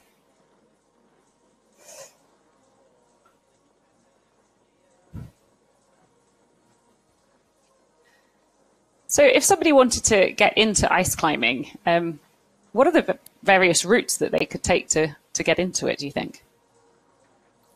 That's a great question. I think I have seen a few different ways that especially youth climbers I'm familiar with have gotten into it. And often I have seen that they have been involved in some other form of competitive climbing, whether it's sport climbing or bouldering. Um, they may also just climb outside, kind of doing trad climbing, maybe not as competitively, but I do think having that kind of ability to work under pressure does uh, play a key role in being able to move efficiently and quickly. As I was saying before, with with clipping, if someone is just sport climbing for fun, you may be used to just taking your time outside, kind of looking around the route. Um, but I think having access to like a training facility and or a team to train with can be really valuable. Um, I know in the U.S dry tooling gyms are kind of few and far between. There are maybe three to four key areas that have some kind of training facility. Um, and so if you are not close to that area, it's very difficult to have access to the holds. Like as we talked about, the different holds can make a big difference in, in your advantage in the route. If you're familiar with where the pockets might be, um, or if you know how to hook your tool on it appropriately. So coming from kind of a different climbing uh, background, specifically around competitions, and then having access to some kind of training facility, whether that's outdoors or in a gym, um, and being able to practice with a team or with a coach, I think can make it a, a, pretty big difference so that you're able to continue to grow and learn and develop and, and train with the right kinds of equipment um, to to be able to come to competitions uh, ready to go and, and, in a spot where you can be a competitive uh, candidate. Mm. And, and how much are you climbing outdoors uh, in a non-competitive environment? I think it depends on interest. I have one teammate who prefers outdoors, and that is her predominant approach. Um, she's very close to crags where she's able to get out dry tooling and project different routes that are a bit more challenging. And I think that really helps her endurance and her headspace when it comes to leading um, and moving efficiently mm. through different, especially like figure four, um, pumpy moves. And then, like what we talked about, the downside of that is that you may not have the practice to be learning new holds that are coming out in different countries. You may not feel as comfortable doing movements like floating underclings that are not going to be found in kind of natural environments as frequently. Uh, and so I think balancing it can be really ideal to get that headspace to get the endurance outside and do some longer routes. um, but also being able to train on like a wooden structure in a dry tooling gym to be able to focus on some of those specific kind of uh, more man-made movements. Um, so I think a, a, balance is ideal, and it, it probably depends where you live, what you have access to at the end of the day, or if you have a team that you train with where you're meeting regularly at the gym. Um, I mm. think then it forces you to kind of go in um, and keep kind of a disciplined routine because at least in in the U.S., a lot, uh, if not all, of our athletes have full time jobs, are students, and so I think keeping uh, yourself accountable with some kind of uh, team or regular training time or coach is is critical because it's it's a lot of work to put in that time to continue to get stronger and and be prepared for these competitions especially when you have a lot of other commitments going on in your life yeah, absolutely. And I mean, we're getting a really great display here from Henok about the different strengths that you need to have. You need to be incredibly flexible, um, have a lot of um, endurance, and be really, really strong. So, um, how much training is done off the wall as well as we just watch, uh, just uh, introduce Caitlin Russell Connor from the UK, who is our brand new uh, world champion speed athlete from this morning. Um, so, uh, yeah, the um, how much off wall training is going on for these athletes, do you think? I think there are also a lot of, there's a lot of value in like weightlifting, in core workouts, in a lot of development of the muscles that you're going to use, but maybe not just only through using your tools.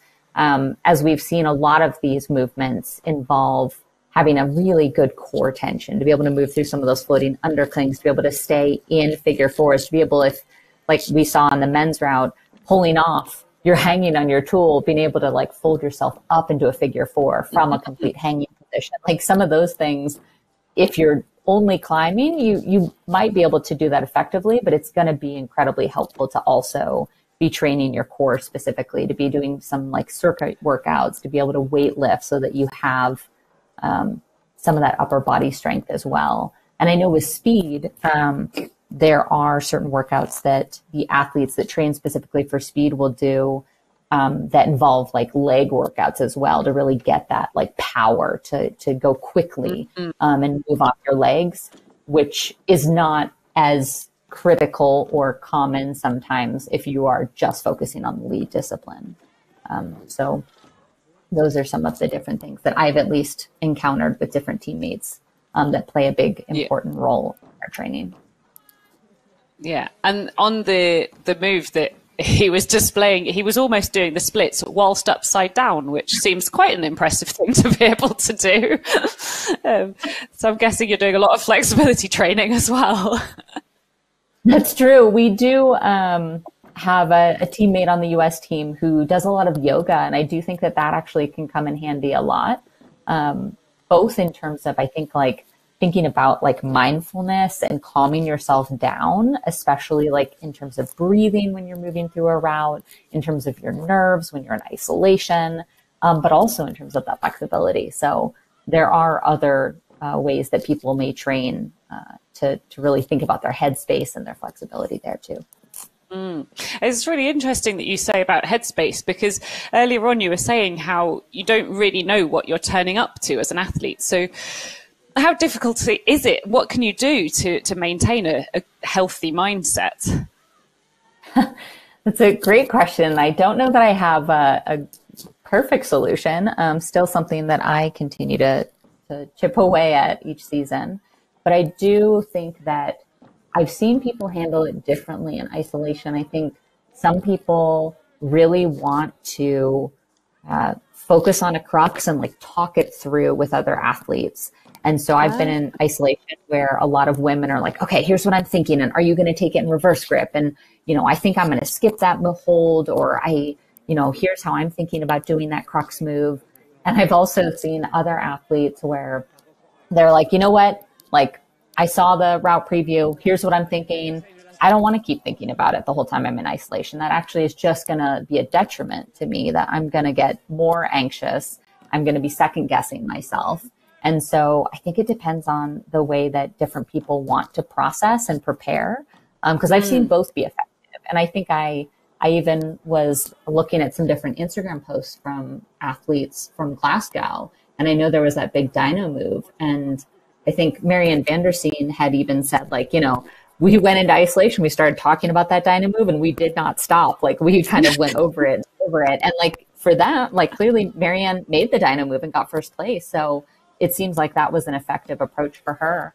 Um, and maybe for other athletes that that isn't what they would have wanted to do. So I I think um, there are a variety of ways that people will handle it, and I don't know that there's one that uh, trumps the others. But um, knowing what what you need and what's going to stress you out, and if there is a point of okay, now I've processed it too much and I need to stop, or I'm just going to start to second guess my strategy. Yeah, I think that's it. You've got to find what works for you and uh, build the environment around you uh, with us, with whatever you can control. Make sure you've got it in control and make sure you've got a plan for it. And that way, you you can hopefully maintain your mindset even when there are some unknowns um, that you're faced with.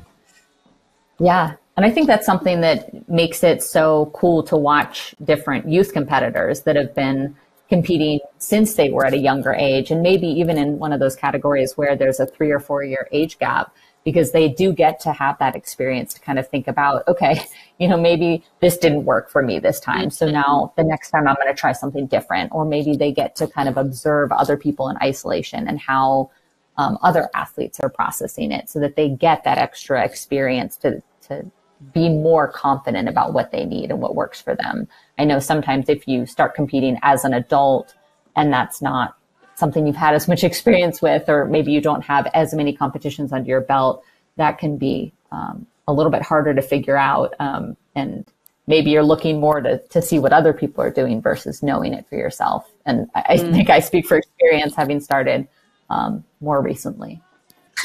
yeah. Yeah, you're a, a latecomer to the climbing scene, aren't you? yes. Or to the ice climbing scene, I should say. You've been climbing for a long time, but not ice climbing for so long. Yeah, in the competitive scene, it, yeah, it's been a quite a learning experience. but a really friendly environment and lots of support there. Yeah, I think that's something that I hear over and over again about the ice climbing dry tooling community is just that it has been much more positive, much more welcoming for a lot of people versus other uh, competitive sports. Mm, yeah. So if you're at home wondering whether you should get into it, then perhaps now is the time. um, we now have our uh, fourth male on the wall. This is Erno Robert Szeregi from Hungary. and uh, he is the current, as of this morning, world champion speed athlete in the under 21 category. Um, so let's see how well he can do. Can he take uh, the double?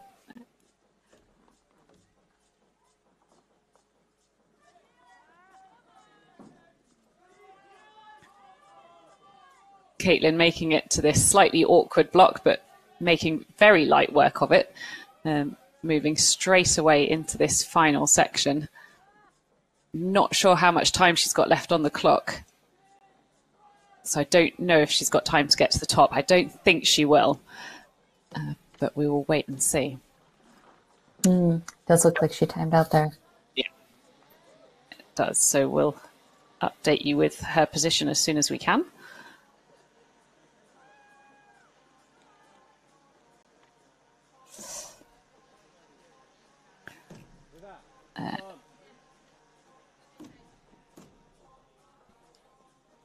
Let's have a little look. I think you're right. I think she chose to jump off. But did she get the hold? Ah! I can't tell if she got that next hold or not. So we'll just have to wait for the score to come through on the uh, scoring system online. And while we come back to the men's and Erno Montoya looking incredibly confident, already made his way onto this very tricky section.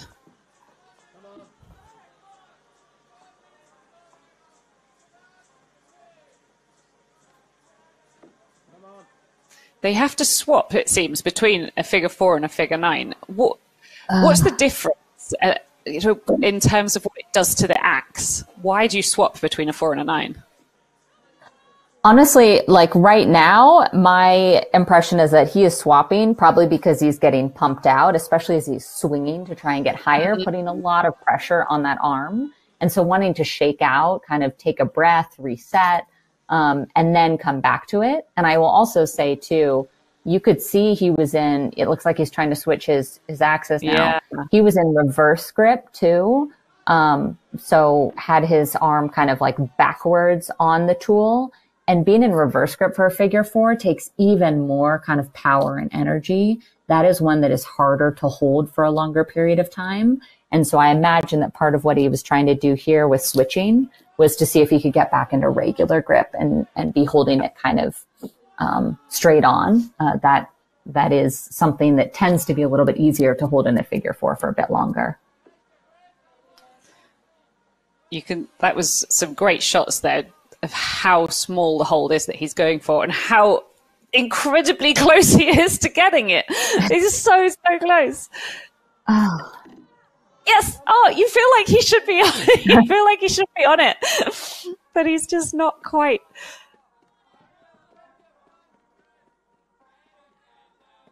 Yeah, see. and it, it's like a whole. Oh, sorry, go for it. No, I was just going to look at how tall he was. Um, I'm just wondering whether that's playing a factor, but I can't find him. Here he is. Uh, he's 178, so he's he's second tallest of this group. You can see too when he does try and swing in that he really tries to put his knee right up by his wrist because that mm. can make a mm. huge difference actually is like when you're in a figure four, especially as you get tired, it can be easy to have your knee kind of like slowly slope down your arm and you yeah. like part of what you're doing with a figure four is you're kind of climbing your arm to get higher, to get that extra reach. And so even having your knee go down like, you know, a, a few millimeters can make that difference and that extra reach. And you'll see he kind of like pendulums his body there to try and get that. And it's, it's uh, even a, a different approach whether you're able to kick into like what he was earlier, being able to kick into the volume to kind of mm. push off the volume and get higher versus just like um, kicking your leg down and trying to get reach that way. Um, it's it's something that athletes will often practice both of those uh, approaches with figure fours because they can come into play, but they they look different and especially as you mm. get tired, the technique is really important to hold to get that extra reach. Oh, oh yes! Oh, absolutely incredible. I can't believe oh. after all that time oh, he actually got so it tired, I'm sure. Ow. Looked like quite a nasty fall, but he looks like he is okay. A little bit dazed, perhaps. Um, hopefully, we'll cut away from that as quickly as possible. Thank you, team. So we now have Selina Bossard um, in the women's competition. Um, she is also one of our athletes who is looking to uh, get a score in the European Cup as well. So we will be looking very carefully at her score and taking it across into the European Cup. But for now, let's see if she can take home gold in the under 21 women's lead final of this World Youth Championships in Oulu. Already looking very casual, uh, making her way up through this sort of delicate first section before it gets a little bit more powerful. If she does want to make it into um, gold medal position, she needs to get to 11.28. Uh, but if she already wants to make moves in the European Cup, then she'll need to beat Lorena Beck, who is in 12.29, or has 12.29, apologies. Um, so we we already know what she needs to do to not be at the bottom of the table, um, at least in the European Cup. So here we've got some replays of Erno Montoya Soreggi uh, and that oh. very nasty fall that he took. Um, but he did make at that uh, hold. Hopefully, he made it before he timed out. I'm pretty sure he fell rather than timed out, but uh, we will have to double check on this scoring system.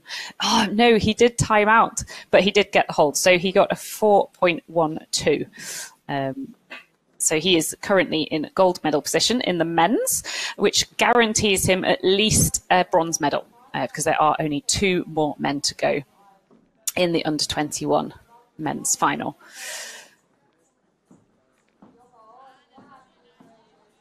And for now, we are looking at Selena Bossard, um, who is climbing her way, hoping to take home gold, but also hoping to put a really solid score on the board to put her in with a chance of taking home a medal in the European Cup as well.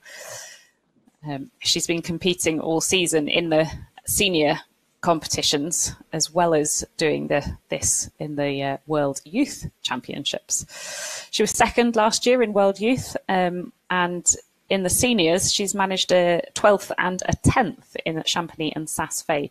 So she is a really, really strong athlete and one to watch for the future.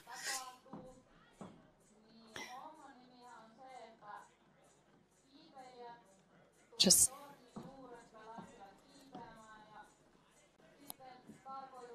I can't see. Uh, did she has a, a backwards grip on that? I think she did.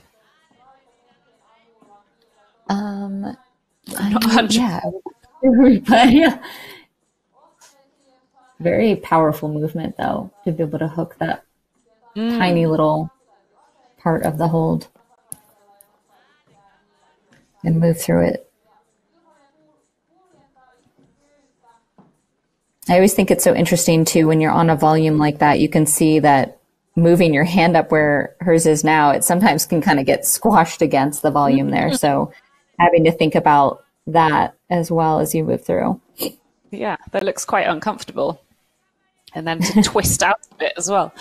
Uh, yeah, quite an unusual movement there. Doing a bit of the twist and shout to get up. uh, yeah, on the men's route, um, we have. Oh, we had on the men's route. We mm. had uh, Javier Paredes Ramos, uh, but sadly he has already fallen. Um, so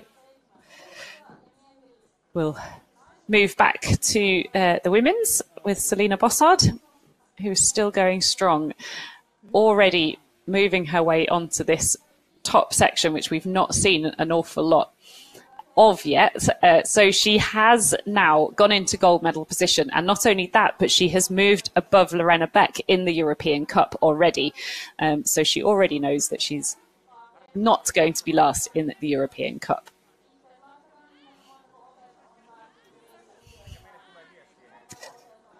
But where will she get to? It's a very committing jump, this. getting lots of cheers of encouragement from below, and she does it.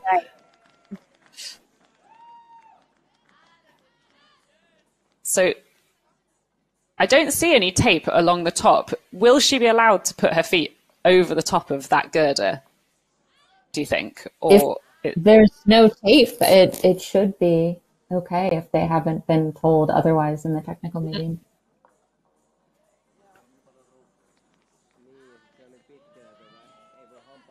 What an amazing move. Yeah, it can be very committing because oftentimes for things like dinos, or if you're moving horizontally in a figure four, kind of figure nine position, it is best to kind of move past the clip before clipping it because otherwise you're kind of reaching out. The rope can be getting tangled in your tools or around your leg. Um, and so sometimes it, it requires really moving further than you might want to ideally, but it's it's the most efficient way to be able to make those clips. So to jump out to that dyno and and know that if you miss it, you're going to take a big fall can be uh, pretty heady.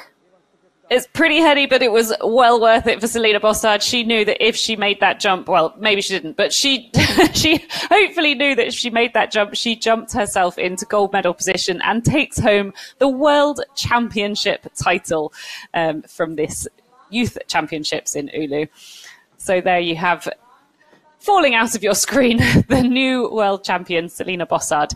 Um, and her score will go across to the uh, European Cup. She did top in seven minutes and 18 seconds.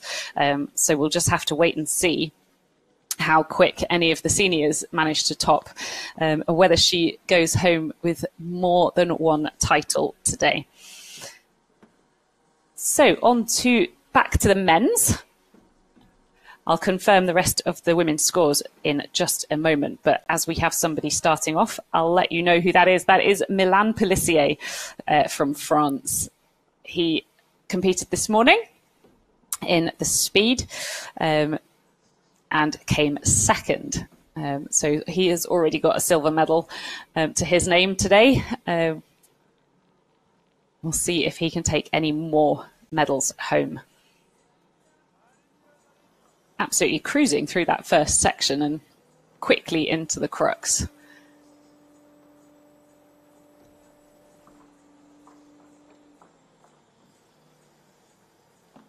Making it look very smooth and easy.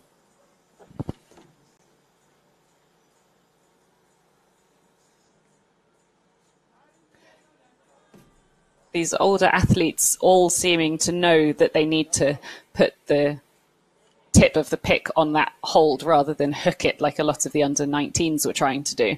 Um, so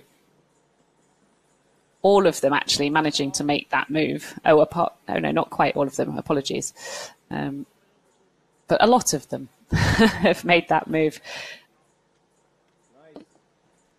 You could see he kicked in right away to make sure he was stable and didn't have his pick turning like some of the other ones had, had yeah. experienced and straight dynamically into a figure four, I think that was.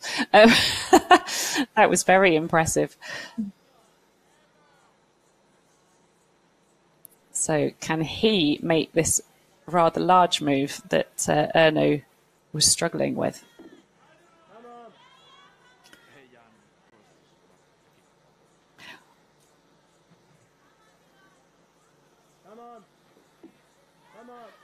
Milan is uh, 171 centimeters, uh, so he is one of the shorter athletes. Now, he's not actually allowed to do what he just did, um, so it'll be interesting to see what happens. I don't feel like he gained anything from it, so hopefully he won't be penalised.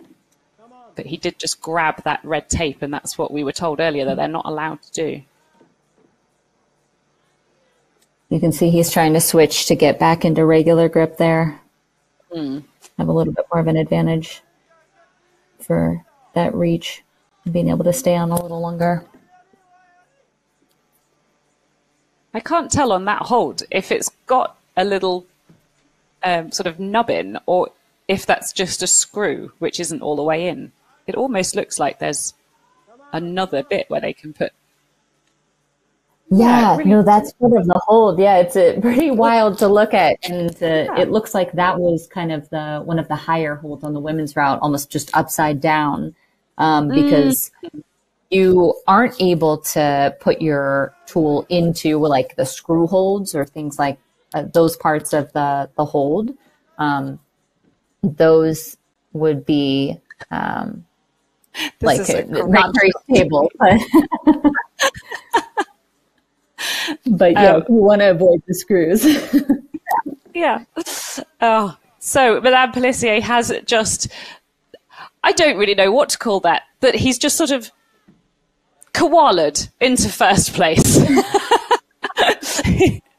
he's really wrapped his legs around um, that volume and uh, is sitting there quite comfortably and has taken the gold medal in the World Youth Championships. Uh, not that he'll know it just yet, um, but what looked like a fairly comfortable position uh, is no longer as he tries to get out of it. Oh no. Well, that concludes the under 21 part of this competition. So, um, Milan Pelissier is your gold medalist. Um, Erno Montoya is in second place, and Henok Garcia Montoya, sorry, Erno Montoya Seregi is in second place, and Henok Garcia Montoya is in third place. Um, in the women's, um, Selena Bossard topped and gets the gold. Uh, Caitlin Russell Connor takes silver, and Johanna Turi takes the bronze. And we have already started with our senior athletes. Um, so it is all like to play for.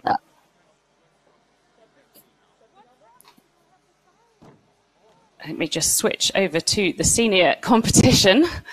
Um, and we will be with you shortly. So it's Aneta Lusheka, you are right. Um, we are rattling through this competition. So Aneta from the Czech Republic um, currently sits in fourth place in the overall. So we'll be looking very carefully to see where she finishes today, because not only will we be crowning the winner in Oulu for today's competition, but we will be crowning the overall European Cup winner as well. Uh, so as you can see, uh, Lorena Beck is already on the board uh, with a 12.29. I'm pretty sure Selena Bossard should actually be at the top there um, with a top in 7.18. So uh, Lorena Beck is currently in second place and Aneta Lusheka is in third place. We'll get that updated for you shortly.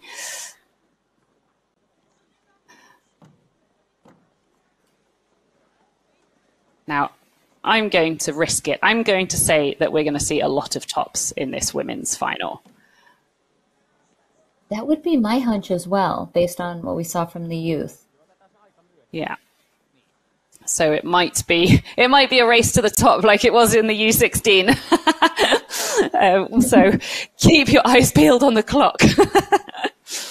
um, we will just have to wait and see.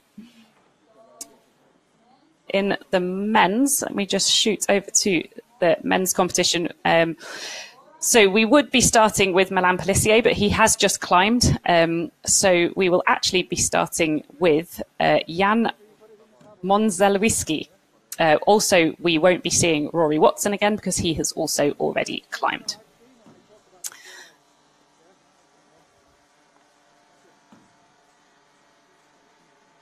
I believe Jan is underway, um, or is about to be underway.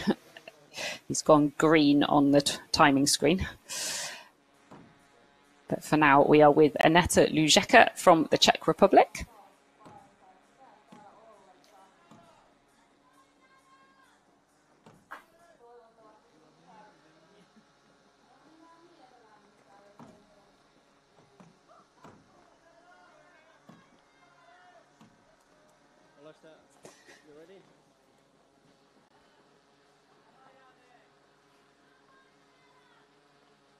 Aneta just struggling a little bit with that, uh, getting the Stein in. Um, the Stein is a Stein pull is where the, the tip of the axe and the back of the head are in opposing motion. So often you'll see it as a, an undercling like that, and the back of the the head of the axe is actually pressing against the wall, and the tip of the axe is pulling away from the wall inside the hold almost. Um, so that's what she's aiming for, but she's not quite able to get it.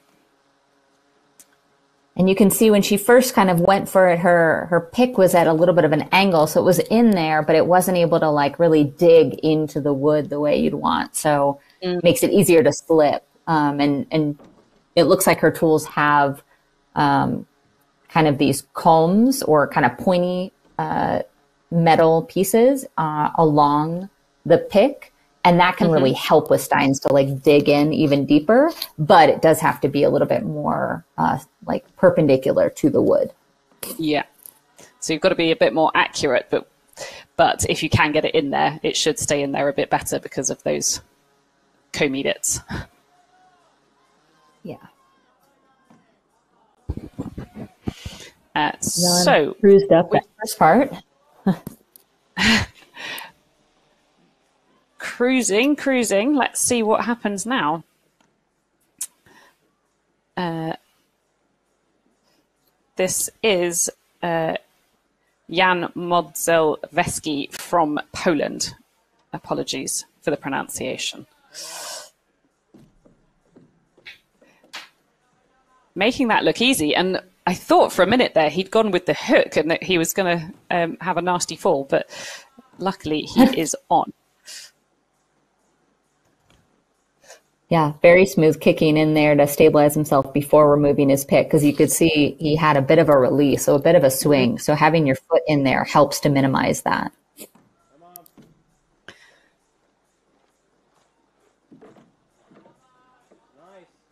Making that next move actually look quite simple as well. Yeah. Definitely using his core, being able to to have his arms between those feet yeah. totally dangling and then be able to just pull himself right back in and oh, keep going. No. Oh no. Oh, oh, that is disappointing. He was looking incredibly strong. That wasn't me that commentator cursed him that time. I, I was feeling quite guilty. but he was he was looking really, really powerful, wasn't he? I was just thinking that his core was under so much tension. Um, but sadly, yeah. he just twisted off that little hold. Um, so Jan not going to shake up the podiums today, I don't think. But anything could happen. Uh, Aneta Lujeka is still on the wall, um, so we don't know where she's going to finish today. Oh, she was able to move through the Stein move. Excellent. currently in third place because we do have those two scores from our women earlier on in the day. Uh, one from the under 19s and one from the under 21s.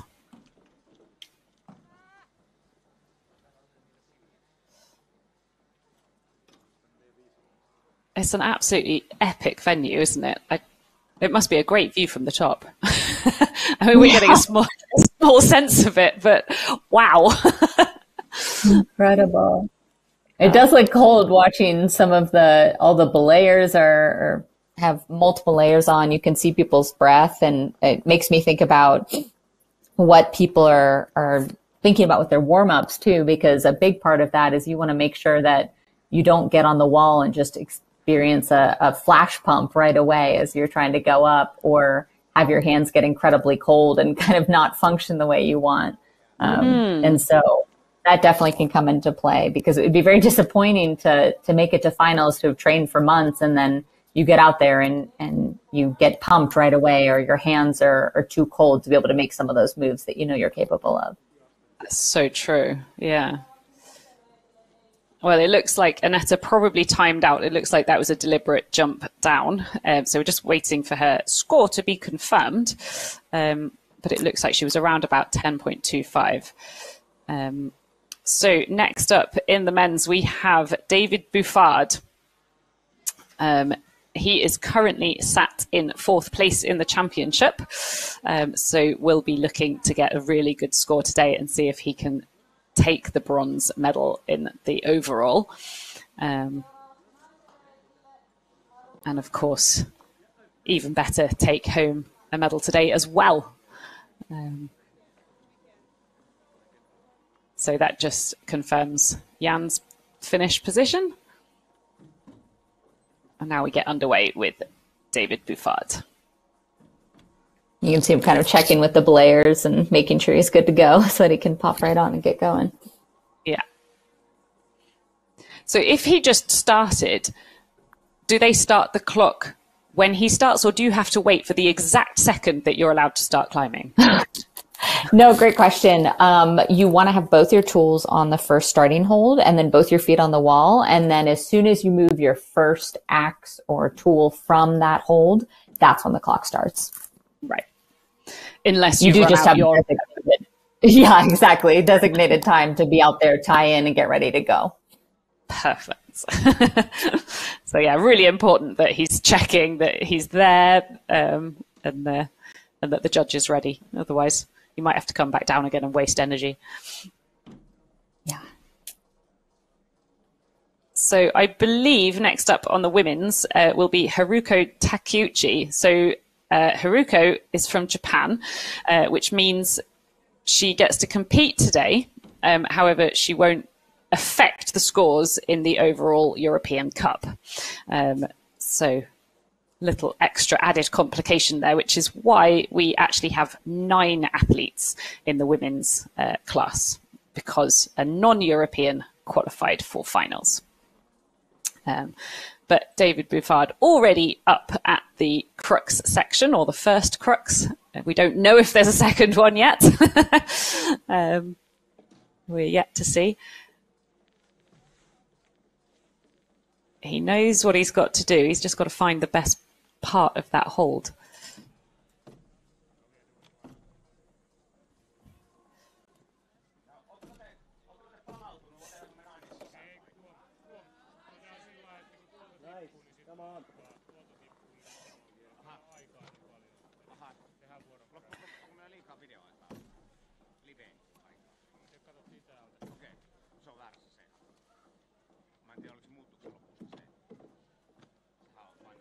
David says that his sporting heroes are David Lama and Conrad Anker.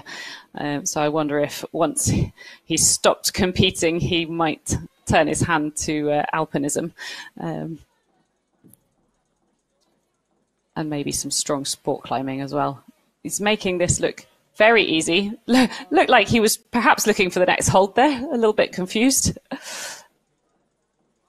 how much of this is from memory? Um, so you, they've obviously seen the route, so they've been told what they are and aren't allowed to hold on to. How much are they memorizing? I think it's difficult to have enough time to to really memorize every single move. You are allowed in route preview to bring out like a notebook and a pen. So you could hypothetically like draw the route out and like look over it more in isolation if if you want to. I think again it goes to like do you want to really be analyzing it at that level? Is that beneficial yeah. for you? Um, but oftentimes I think it's more focusing on like the crux moves or maybe moves that you're not 100% certain about. Like, is that hold, you know, a, a floating undercling? Can I stein it? Or I, am not familiar with that hold. How do I want to take that? And mm. then thinking about like I would imagine for the men's route, focusing on this last sequence of moves that we've seen to be a crux for a lot of people, thinking about, okay, how do I want to release out of that position? Do I want to kick into the roof there or the volume? Do I want to be in a figure four, a figure nine? Do I want to, like, if I'm going to need that reach to be in a figure four for that move, if I want to think maybe two moves before that, how can I set myself up for that? And so yeah. Oftentimes people will focus more on those kind of nuanced sequences. Um, but again, you, you could go out and draw the whole route on a notebook um, and uh, try and memorize the whole thing. I think sometimes I've also spoken with athletes who have said, you know, I've made this whole pl- game plan of how I'm going to approach this, and I'm I'm going to do a figure four here, and I'm going to switch to a nine here, and I'm going to do that. And then sometimes you get there, and the hold is maybe slightly different than you anticipate, or maybe you get into a figure four, but like for whatever reason, you kind of forgot or you took the hold in a slightly different way. So then you're in reverse grip and that impacts the whole rest of your sequence. So I think some people are almost like, I don't want to set up. Uh, I don't want to try and memorize anything or, or tell myself I'm going to do this exact sequence. Cause then I get there, I'm out of sequence and then I'm, I'm just like, oh no, this isn't what was supposed to happen. So yeah. I don't know a ton of people that fully memorize the entire route. I'm sure it, it has been done. Um, but I, I think I've heard more often that that has not actually been as advantageous as people want. Mm, yeah, that makes sense. uh, so sadly, we did just lose David Bouffard from the competition. Uh, that puts him in quite a dangerous position in terms of the overall because he is sat um, in fourth place at the moment with 151 points in the overall. Um, but without moving away from that, and hopefully we will see some of the more senior athletes moving away from that hold. So we will just have to wait and see how David finishes. But it's going to be a tense wait for him. Um, but it doesn't look good for him taking a podium spot in the overall, I'm afraid. Um, so next up, we should have uh, Haruko Takeuchi on the women's route. Um, and on the men's, we should have Andreas Gantner. So it looks like Haruki is just tying in. So it was really great to see some of the um, international athletes staying around um, for the European Cups as well. Um, I know some of the Americans took part in the Glasgow round, didn't they? Yeah, that's correct. Mm-hmm. So I think it's, it's, a number of them even came back to the U.S. and then went back to Glasgow, which is is uh, wow, quite a lot of people. That's committed. exactly. Yeah. Yeah. It's it's obviously with a shortened season, it's a lot of hard work on the athletes and a lot of traveling, but it does um, give people the opportunity to stick around in Europe um, and do some of the European Cups as well. Um, although apparently you can make it home in between times. but yeah, really... I think. Uh, yeah, exactly. I I think having the experience of more competitions is really a, a key way to to grow and learn in this sport. It's uh, you know, as, even if you have training facilities at home, I think being able to go and try different movements or different sequences that, that route setters have at these different competitions to be able to see challenges that people run into, to be able to maybe experience new holds. It's, I think, so critical to progressing in the sport that the more competitions you can go to, uh, the better chance I think you have um, every season. Mm, yeah, it's a really yeah, really great point. Um, and talking of experience, uh, Haruki Takeuchi um, is an incredibly experienced athlete um, and has already taken a silver medal this year at Cheongsong in the lead. Um, she's competed in lead and speed this season. Um, uh, but her second place in Cheongsong has been her best result this year. Um, so hopefully we will see another top or at least um, getting very high on this route.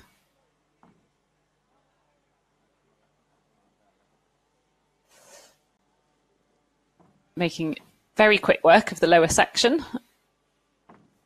Looks incredibly strong.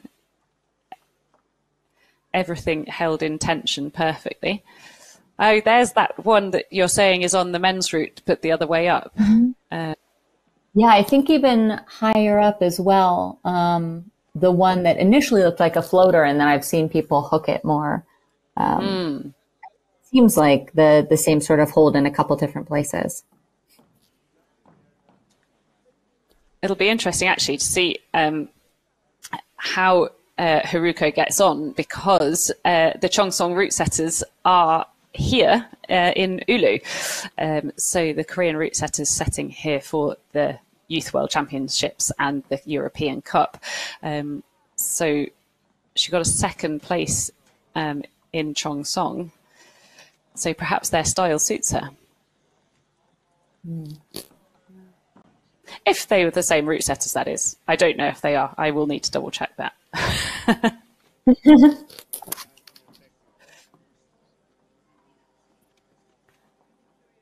Looks like the sun might be coming out at last.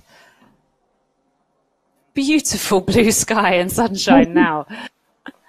yeah.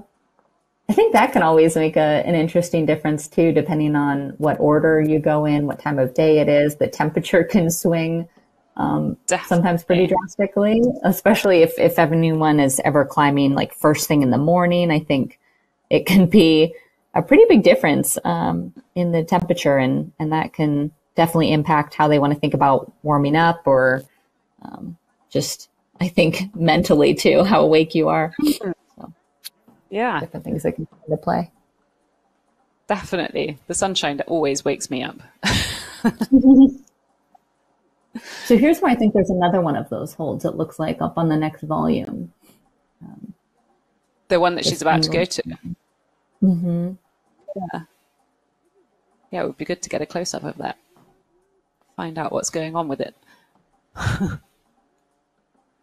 and she's the second person I've seen take it a little bit more directly on, but you can see it does have that kind of screw looking piece that sticks out. And I think other people the majority of, of people that I've seen move through that have actually hooked it.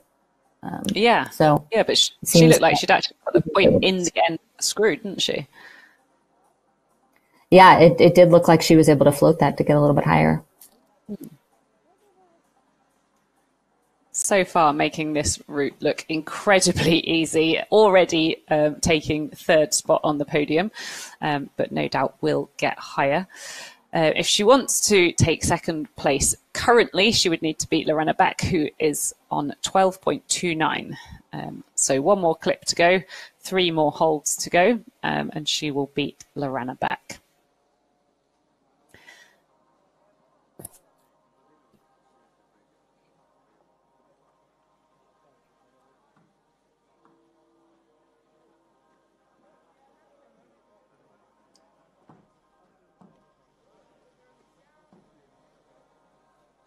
And of course, if she wants to win, she has to top.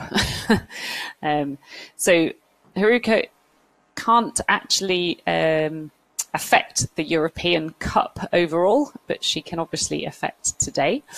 Um, and she will be wanting to top.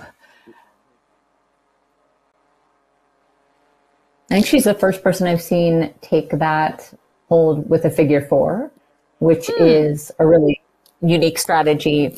Either if you think the hold is maybe not such a great hold, you don't want your pick to be wiggling any more than necessary, or you want a little bit more reach, or both. Um, it can be a really effective way on a vertical wall to use the figure four. This is a, a, great angle to see just how far they have to jump. That's the first time we've seen it from that angle. And my goodness, it's further than I thought it was. so impressive. Um, so if that clock is uh, Haruki's, which I think it is, she's got absolutely miles of time left on the clock. Um, so is easily going to top out in time. Uh, she's just got one more hold to go, although she is struggling to get this clip in. She's obviously not been dangling around at home like you suggested. it's a long clip there, and she's a little higher, so it, it seems a little bit awkward there.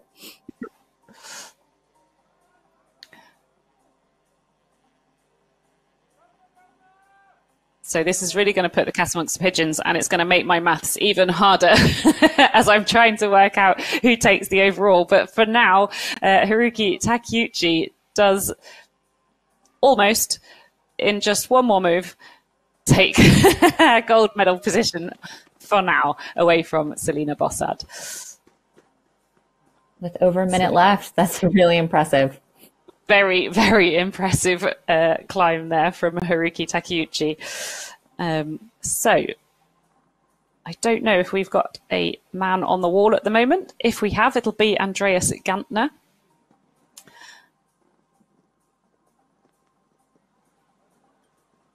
But we don't know just yet. So well, very well done to Haruki Takeuchi, who is currently sat in first place in the European Cup. Um, she is from Japan, so there will also be somebody else who uh, sits in first place. So Lorena Beck, uh, apologies, Selena Bossard would currently also be in the gold medal position. It looks like Haruko finished in 621 and Selena was in 718. So, I mean, that's almost a minute difference. That's yeah, pretty massive. It's a, it's a huge difference. Um, and it, it'll be interesting to see if anyone can beat that time because that is really, really fast. Um, so my maths is about to get incredibly difficult trying to work out who takes the overall European Cup. because Selena Bossard isn't in the running for the podium as far as I know. Um, but maybe somebody can update me on that.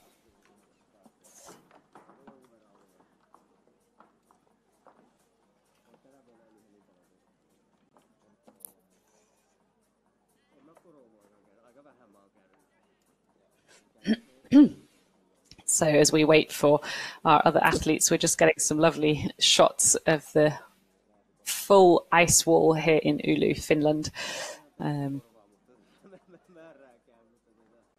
the sun absolutely blazing down on the forest um, and out to sea. and we have seven athletes left in the male. Sorry if you could hear me counting there, and uh, five athletes left in the female. Um, so the females will restart with Emma McSwiggan from Ireland, um, and we are still, it seems, waiting for Andreas Gantner.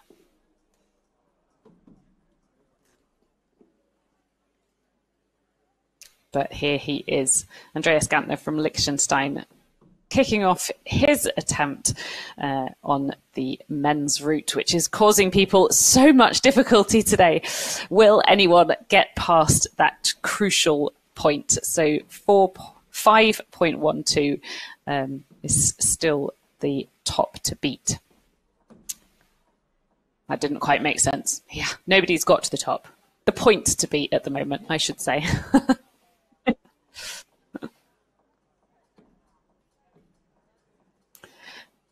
so I have just been updated. Selena um, is 14th in the overall, so she also can't really affect uh, what happens uh, to the podiums. Um, so although she is currently sat in first place in the Oulu European Cup, she can't affect the overall European Cup. Um, so maths is going to get tricky. but we'll do our best. So Andreas Gantner cruising through this first section. Um, and I think we can now call the next part the crux. Um, this lower section was the crux um, for the under 19 athletes, but now that we're on to the more senior athletes, it really does look like um, getting past 5.12 is actually the crux.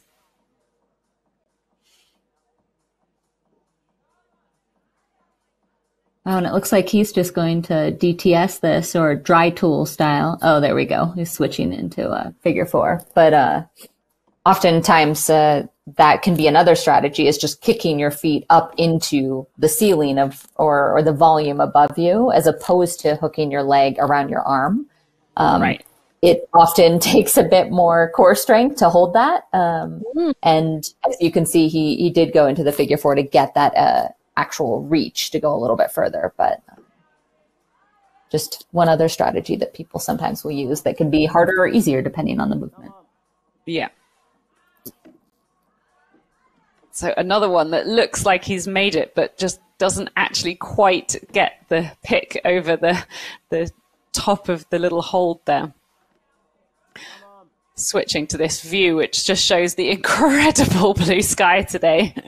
um, so no doubt it will have warmed up a little bit. It was minus 10 this morning. Um, but I'm sure in the sunshine there, it can no longer be quite that cold. There we go. Right.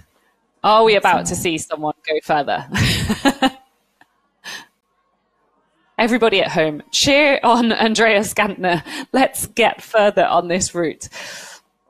Can he beat the junior athlete, the youth athlete, Milan Pelissier? Looks like he either didn't like how it was placed or was having some trouble getting himself unhooked before. I'm not quite sure, but mm. did it hmm. seamlessly there.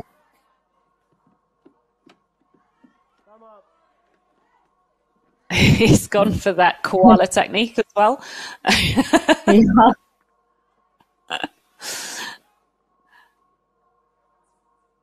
So they obviously have been told that they're allowed to wrap their legs around this um, red tape section. It is only that they're not allowed to use their hands on the red tape section. Um, otherwise, this would be incredibly difficult. I mean, it looks difficult enough as it is. um, exactly. So just one more move and he will take the gold medal position. He's currently sat in silver medal position. Will he do it?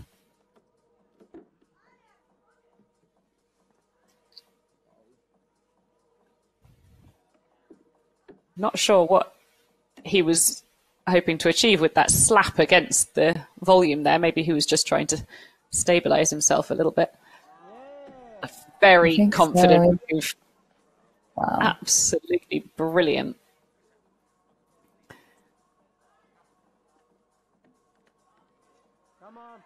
Oh, come on. come on. you can tell he's getting tired now, but he has moved up into gold medal position. Uh, so now it's just how far can he get? How safe can he make himself?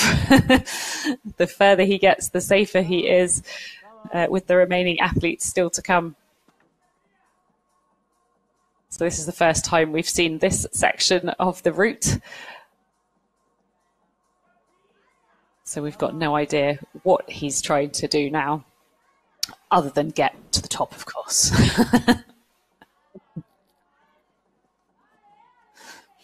Looks like the last two holds have been a little bit more of a jug, which is great. Maybe a, a little bit of a respite from that last awkward part. Um, but this one looks like it just looks a bit smaller. Definitely. Still looking very confident there, isn't he? Mm-hmm. I just really want to see what happens with this barrel. so I'm really hoping that someone makes it onto there. Uh, it's a, a good strategy to use your tool to be able to to smack the the next clip to get it to swing in your favor so it's easier to reach.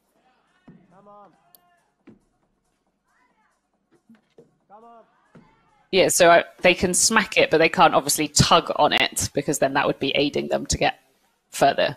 Exactly. Mm-hmm. And that's come into play sometimes with the judging to kind of discern did someone, as they were clipping, they kind of maybe pulled down on it. Did that give them an advantage or was that just, oh, he's off? Um, he's off. That was, was that absolutely an attempt. Wow. That is a pumpy route there.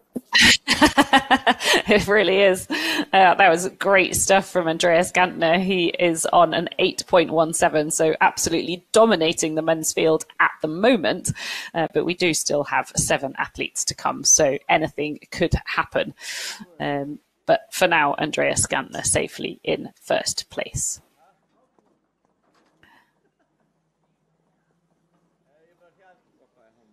So we should be heading back the women's, I believe, um, and we will be looking for Emma McSwiggan. It looks like we are alternating men and women now rather than having them climb at the same time.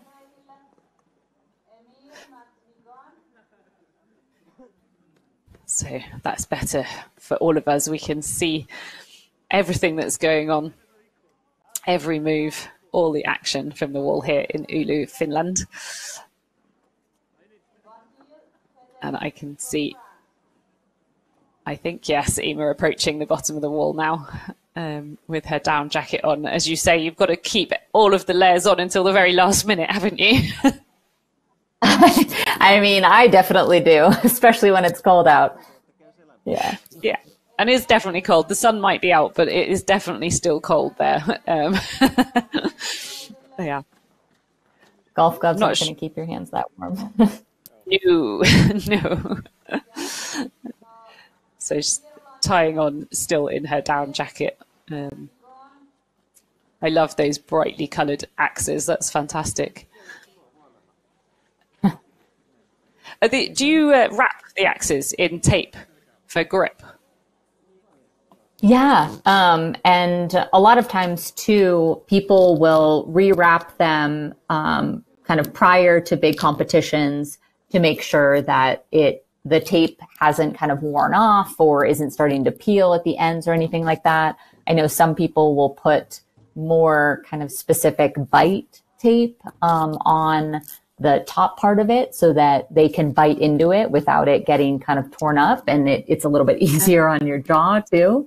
Um, and so that is definitely part of kind of a, a pre-competition uh, preparation that you might do with teammates or, or, just to make sure that your gear is all ready to go. Um, and yeah, I think adding the fun colors can also help get you uh, motivated and, and excited for the, the climbing as well. Yeah, definitely. If you've got your favorite color on there or just one that makes you feel happy. That's definitely going to help, isn't it? yeah. And I know that uh, we talked a little bit about uh, different preferences for different kinds of tools. Sometimes people will modify their tools a little bit as well. Obviously, there are certain dimensions that for UIAA competitions, your tool has to kind of fit within a certain size uh, box. But mm. beyond that, sometimes people will modify or kind of shave down different parts of their handles.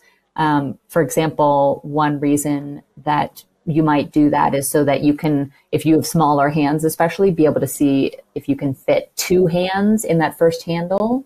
Um, whereas kind of the stock way that the, the tool is sold, maybe you can only fit one hand in there. So if you shave it down a little bit, you can get a little bit of extra grip. It makes it a little easier to match, to switch hands um, across some of those movements. Uh, and uh, so people will also uh, maybe spend time doing that before they tape the tools. Wow. So these, most of these axes, you can just buy them from a regular climbing shop, uh, but then they get modified for competition. It's interesting. I think there are some different types that I, I think I see commonly in competitions. And they do come from different distributors. They may be more or less easy to uh, to get. Um, like the Krukonogi ones are out of Russia. So um, uh, speaking from the American standpoint, that can sometimes be a little bit harder to get, um, hmm. just for kind of political reasons um, with the relationship between the U.S. and Russia. Um, so those are often very favorable tools for a lot of people, or even the picks or front points on your crampons um, coming out of Krukonogi, but maybe not the easiest to access depending on where you are. Um, mm. Or the South Korean tools. Um, I know of teammates that have them, but typically they've gotten them like when they've traveled to South Korea. They're not as easily accessible um, from wow. just kind of uh, normal distribution uh, centers or brands. Um, you, you may have to have a contact with the certain area to know how to get them or to be able to um, make sure that they're made in the, the season that you want. That's incredible. So, how would you actually know that you want to climb with them? Would you have tried somebody else's? Or? Yeah, no, great question. I think uh, that is often what people will do is see if there are teammates who have the kinds of tools or equipment that you'd want to use. Um, or sometimes people maybe just take a leap of faith and, and invest in them. I would say usually you try and, and do that, but I personally invested in Kayland boots. Um, hmm. They are out of Italy, so I did not actually have a way to try on my size before I ordered them. I just knew that the boots I had access to um, the Scarpa ones that a lot of teammates have and that I could try on um, didn't fit my foot very well. They had a really high arch and it, it was uncomfortable for me. A lot of people love them, but I think it's it's dependent on um, like your foot and your size. Um, and so I did kind of take a bit of a risk and I, I ordered the Kayland boots without having tried my size on and they've worked out really well. Um, but that was definitely maybe not my best decision. Um, and it, it, worked out. So I think it, it probably depends on uh, the athlete, how long they're competing, how much time it maybe takes to get certain uh, types of gear and when they have competitions coming up. Yeah. Just while we're on this uh, camera shot, it looks like she's got her crampons taped on her. Now, they, they obviously can't just be taped on, but can you uh, imagine why she might have tape around her foot like that? That is a great question. I do know, um, I'm not sure of Emer's situation, but I do know of teammates who sometimes maybe have like stripped bolts or something on the bottom of their, their boot, or maybe a certain piece broke and it could have happened maybe while they were traveling and they had spare parts, but it potentially a, it's a part of the boot that broke or is having issues that you would need to replace the whole boot to like really get at the root of the issue.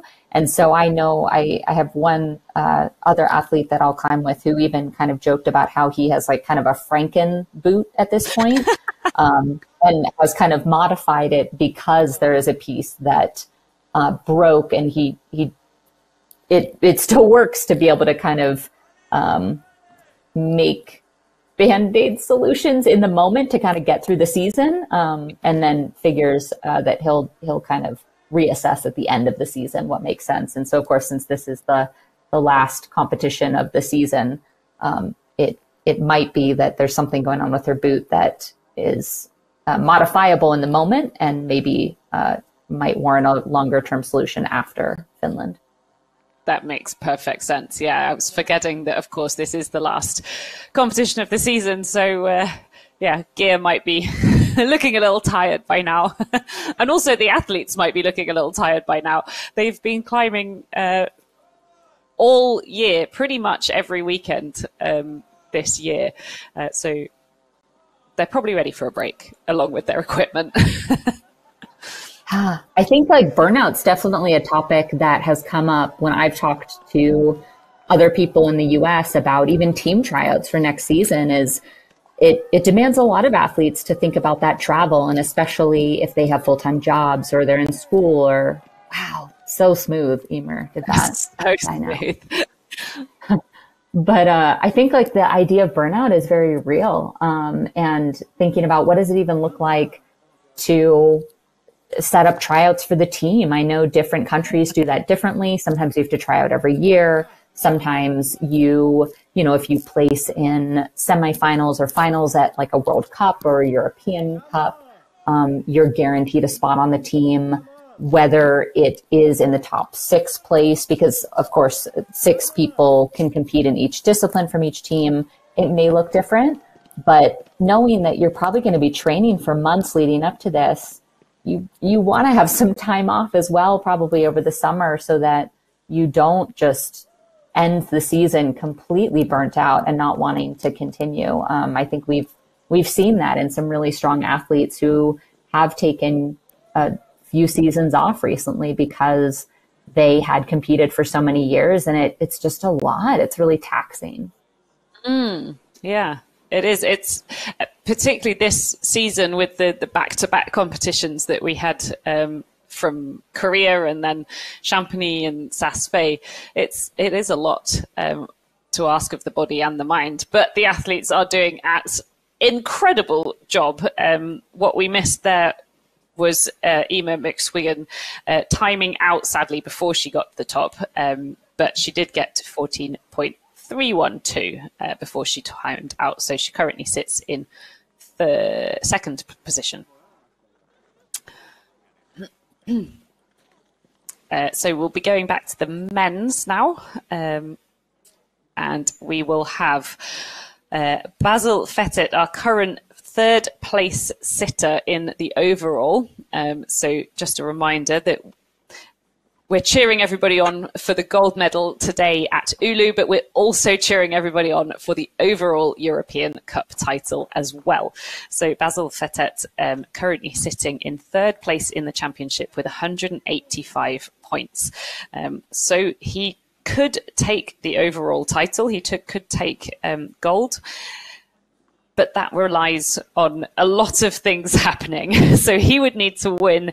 Um, Virgil Devin would need to finish lower than seventh place, um, or seventh place or lower. Same with Dennis Van Hook. He would need to finish in sixth place or lower, uh, and Basil would have to win. So lots and lots of things to look at um, as Basil sets off for his attempt at this route. Um, currently, he needs to get to 8.17. Apologies for the delay there. Uh, my brain wasn't quite functioning fast enough after a day of commentary. so Basil Fettet uh, cruising his way up this first section um, and looking to overtake Andreas Gantner, who got to 8.17. Seen a number of people uh, grab that volume to help get up a bit higher. It's looked very smooth. So, um, mm. love it when I get to see like some kind of rock climbing moves. I know we saw a lot of that in the setting in Saas-Fee, um, where I think having some, some bouldering moves, uh, was helpful to be able to move through some of the different sequences. Yeah, that's a good point. And um, I remember uh, Matt, the co-commentator on the uh, U16, was talking about Saas-Fee really using these granite natural blocks quite a lot. Um, do you mm. find it good if there's a mixture of holds on the route, or do you prefer it if they're sort of all resin or all rock? Um, mm. That's a good point. I mean, I think it probably for athletes depends how comfortable they are on them. Like if you don't like the the rock holds and you go to Saas-Fee and there are more rock holds, you're probably not going to be very happy. Um, mm. I think, uh, yeah, if I, I mean, it sounds lovely if there are a ton of the same hold that I know I'm confident on. I do think it's a good experience uh, if my my goal is to continue growing and learning um, to have a bit of a mixture and get some of that experience um, and we don't always have a ton of like rock holds in the US so sometimes forcing myself to get on a route with a lot of rocks can can also help me grow in that way even if it's not what I want. Yeah Good point.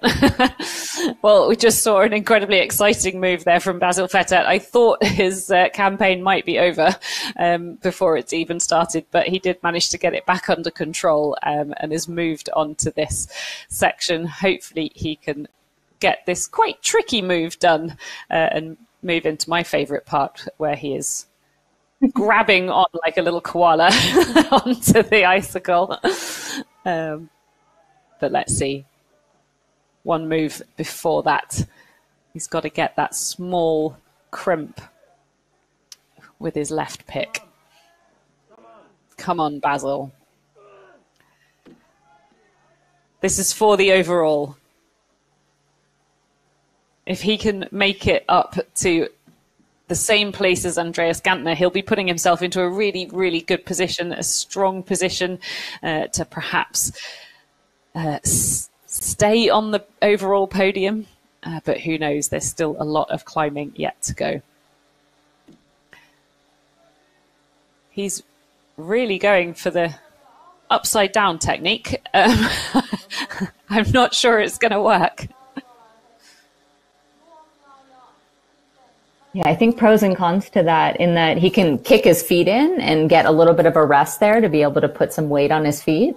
Um, I think it also means that he then has to potentially kind of shift back into the figure four in and out of it, which can also take a little bit of energy there.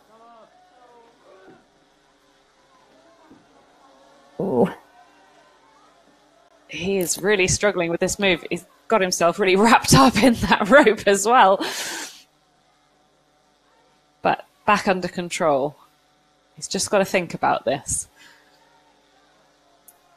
it might not be the fastest ascent, but if he can just make a few more moves, then he will put himself into current first place position. But he's really struggling with this and now having to do a one armor on that very tenuous hold.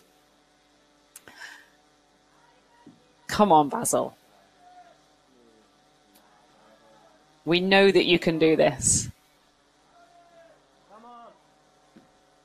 He's getting shouts from below. Come on, come on.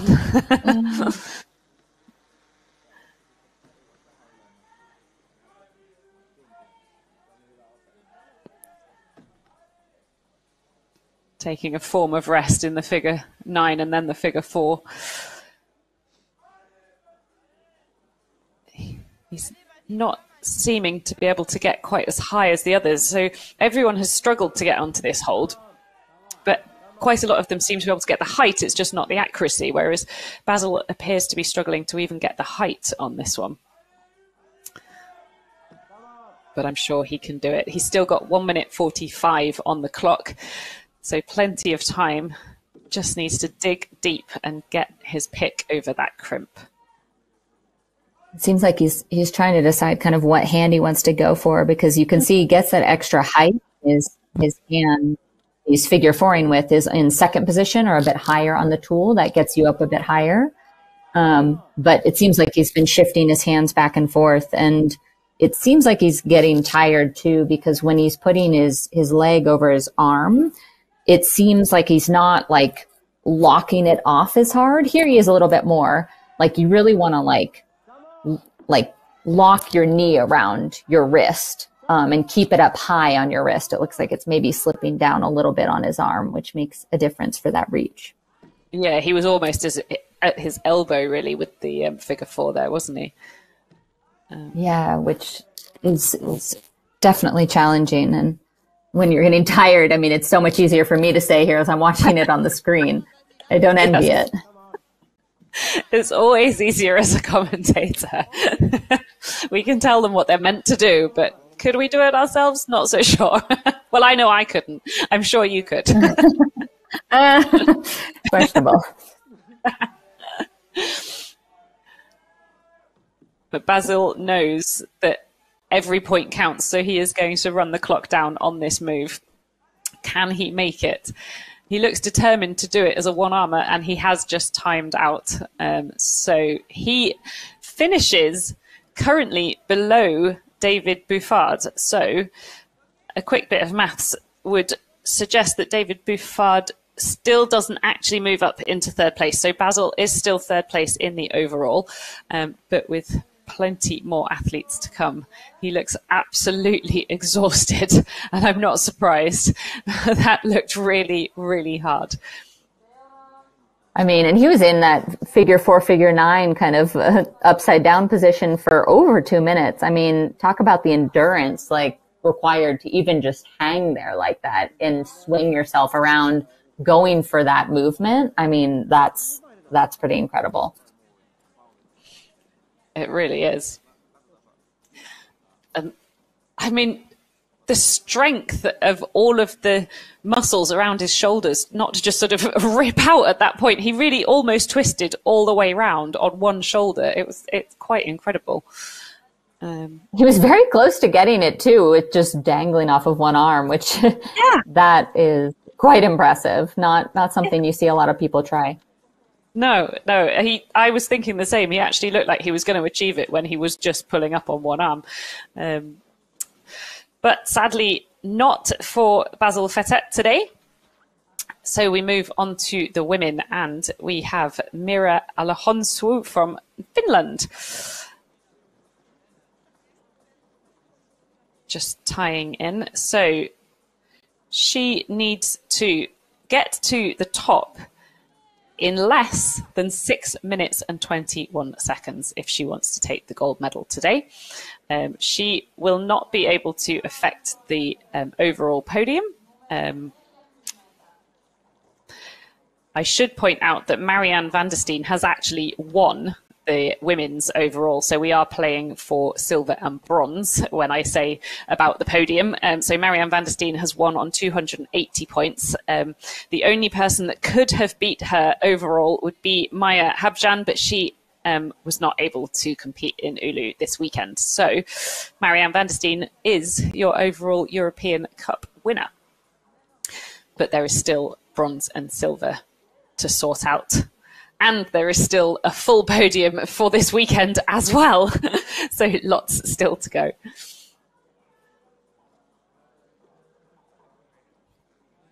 That's incredible to be so far ahead like that, to have really solidified your position that you, you could even not start finals and to still be in first. That's, that's really impressive. It really is, isn't it? Absolutely incredible. And it, even though Maya could have beaten her, um, it would have basically um, uh, relied on Marianne not starting. Um, so there, it was a very big if, even if she had been here. uh, so yeah, Marianne has done an absolutely incredible effort this season. Um, but we are watching uh, Mira at the moment from Finland, uh, just making her way up through this sort of delicate section of the women's route. Looks like the sun is beginning to drop. Um, as we near the end of this competition. Still got four females, uh, including Mira. Um, so the podium's still wide open at this point. Um, with some of our absolute best climbers still to come. We've still got Annie Bertling, uh, Marianne van der Steen, and Olga Kosek still to come after Mira. So hopefully, lots more tops, lots more of that dyno action at the top.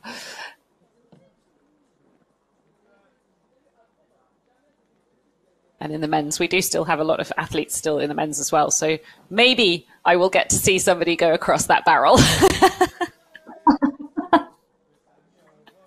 Please. I've asked really nicely. People have been getting closer and closer, so I have high hopes. Yeah, me too.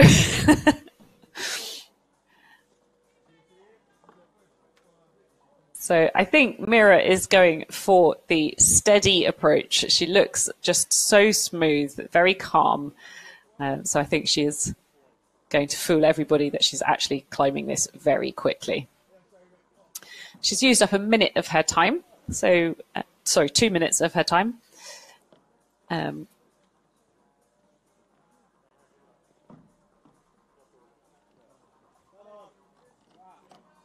and makes that look incredibly easy. Some of the other athletes have really struggled at that point, or at least had to work at it to get their feet up. But she just makes that look incredibly easy. Yeah, that was really smooth.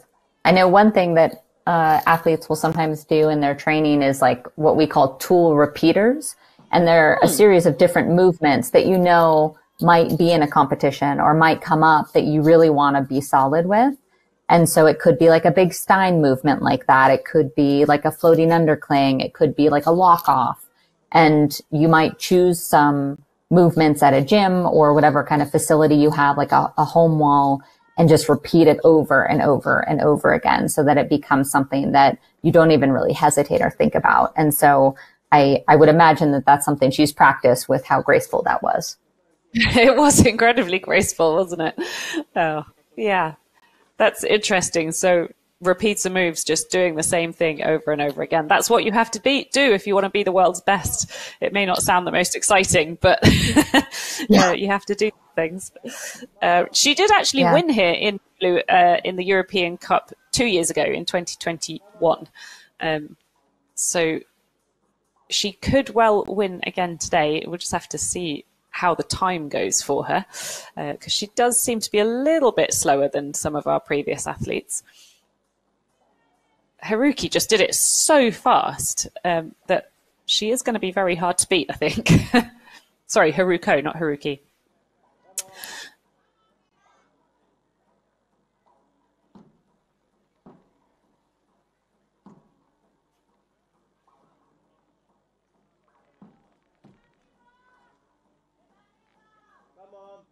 She's very strong on these sideways movements, isn't she?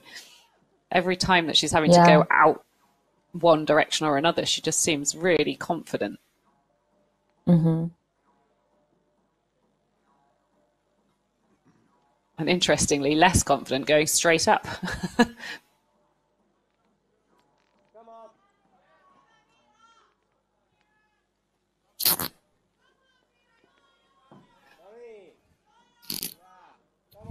Mm, the figure four similar to Haruko.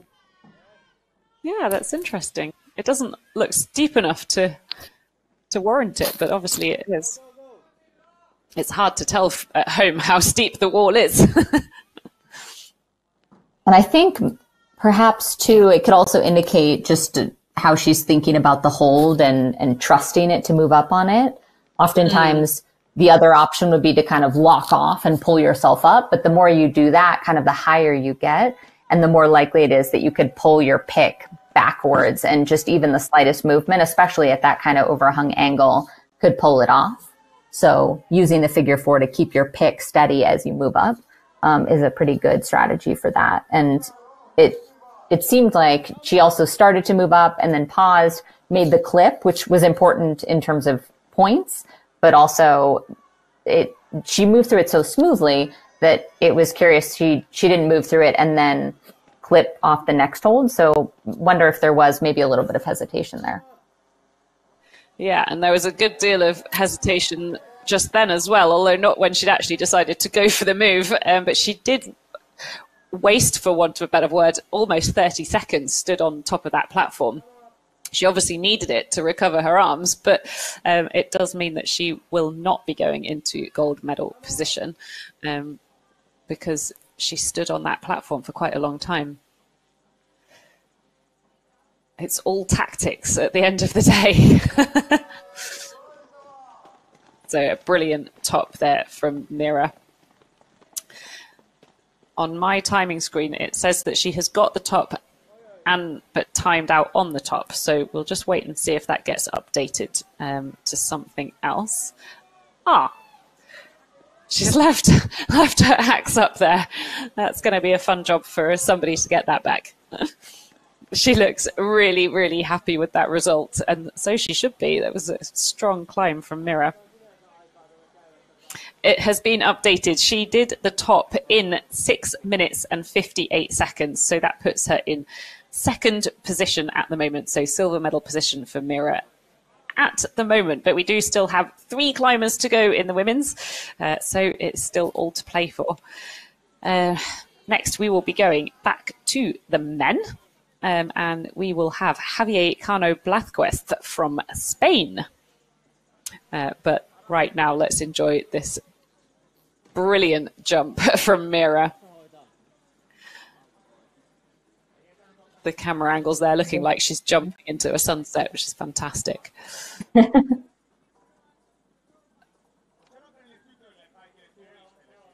How will they get that back, do you think?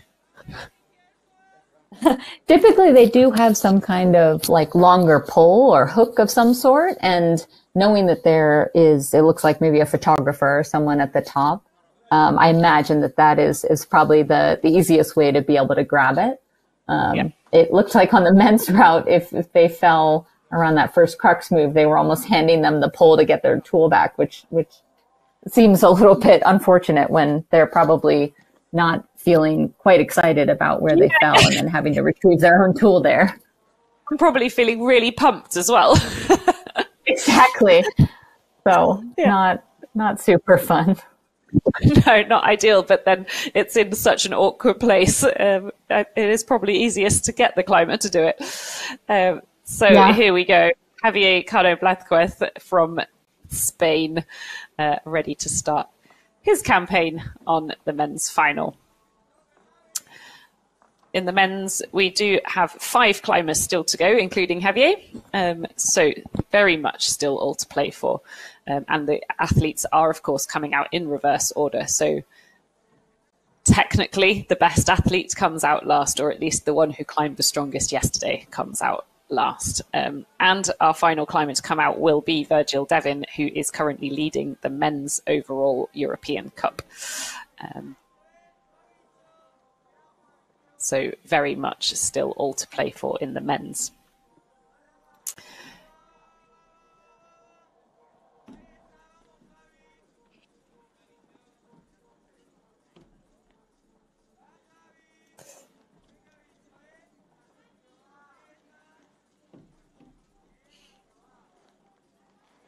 Javier uh, did compete this year. He's uh, already competed in Champagny-en-Vanoise um, and came 20th, uh, but that's the only competition he's done this year. Uh, last year, he took part in the World Championships and the European Championships. Uh, he gained 14th in the Europeans and 41st in the World Championships in Saas-Fee last year. Um, so he has got experience at this level, um, but he has only been competing in the UIAA um, World Series since 2022. Um, so not as experienced as some of the other athletes um, in the competition, but making this look pretty easy so far.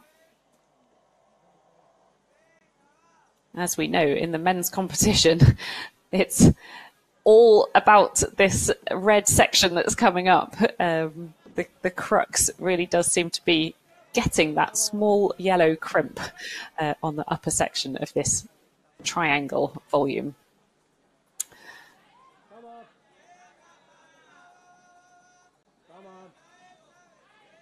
Looking very confident and strong, dangling on just one axe there. yeah, no problem. Just pulling himself right back up into a figure four there. Hmm.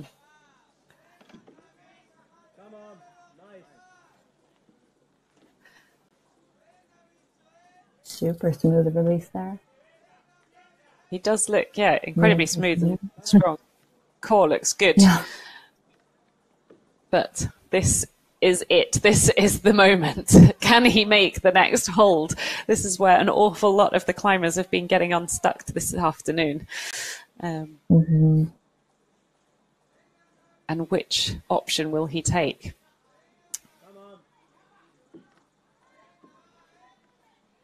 It doesn't look like that's going to work for him. He has actually got Oh no. that. He's got, he's got tape stuck on his foot.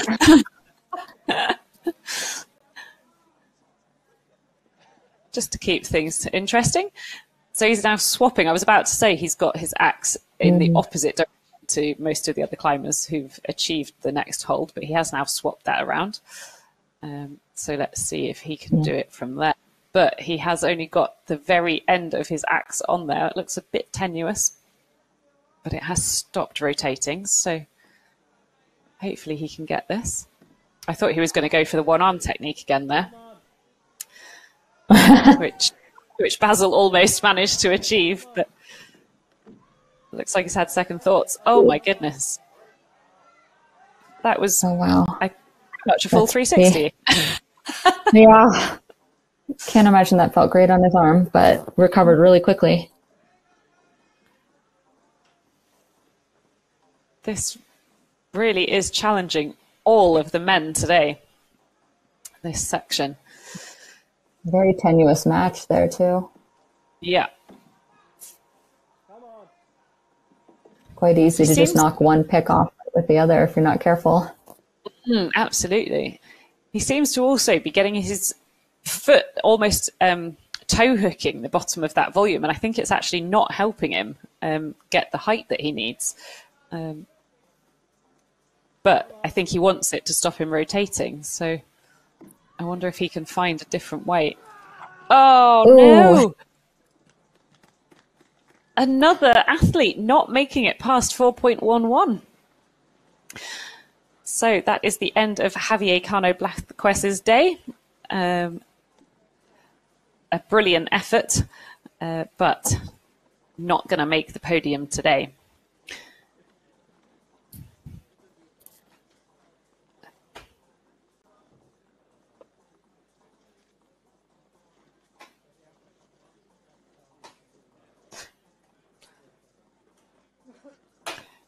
It can be tricky with your your hips more open. Oftentimes, that can really influence how much you're you're swinging. Um, in a figure nine, kind of having your hips more open can be helpful to prevent that. Um, but when you're you're trying to pendulum yourself to get that extra reach in a figure four, you're going to want to kind of lock off your your knee a little bit more to to help minimize that. Could that be why he was spinning so much more than the others? Because as soon as he released that toe hook, he's just seemed to go spinning around. Yeah, I think the toe hook did make it a little bit trickier um, because I think he was relying on that for a lot of his stability. And so when he was coming back down from having reached up, it seemed like his foot like kind of lost tension with with the the hook there, and, and that that kind of led to him spinning a bit. Hmm.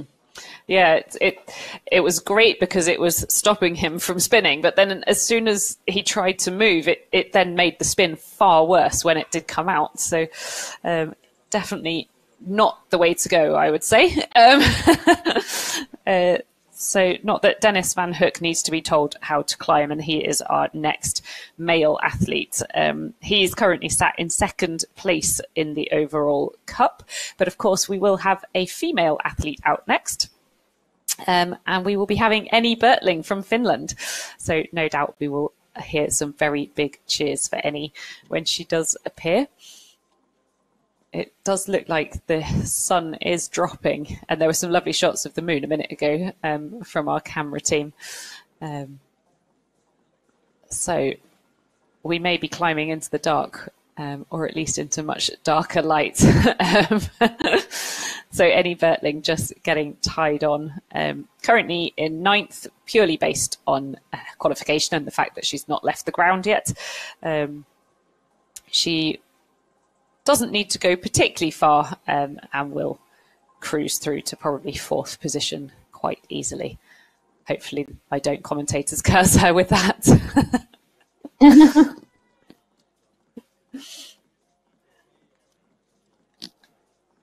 Just looking at the uh, European Cup overalls, um, she's probably not in the running for a podium position um, in the overall, but she, of course, is in the running for a podium position today.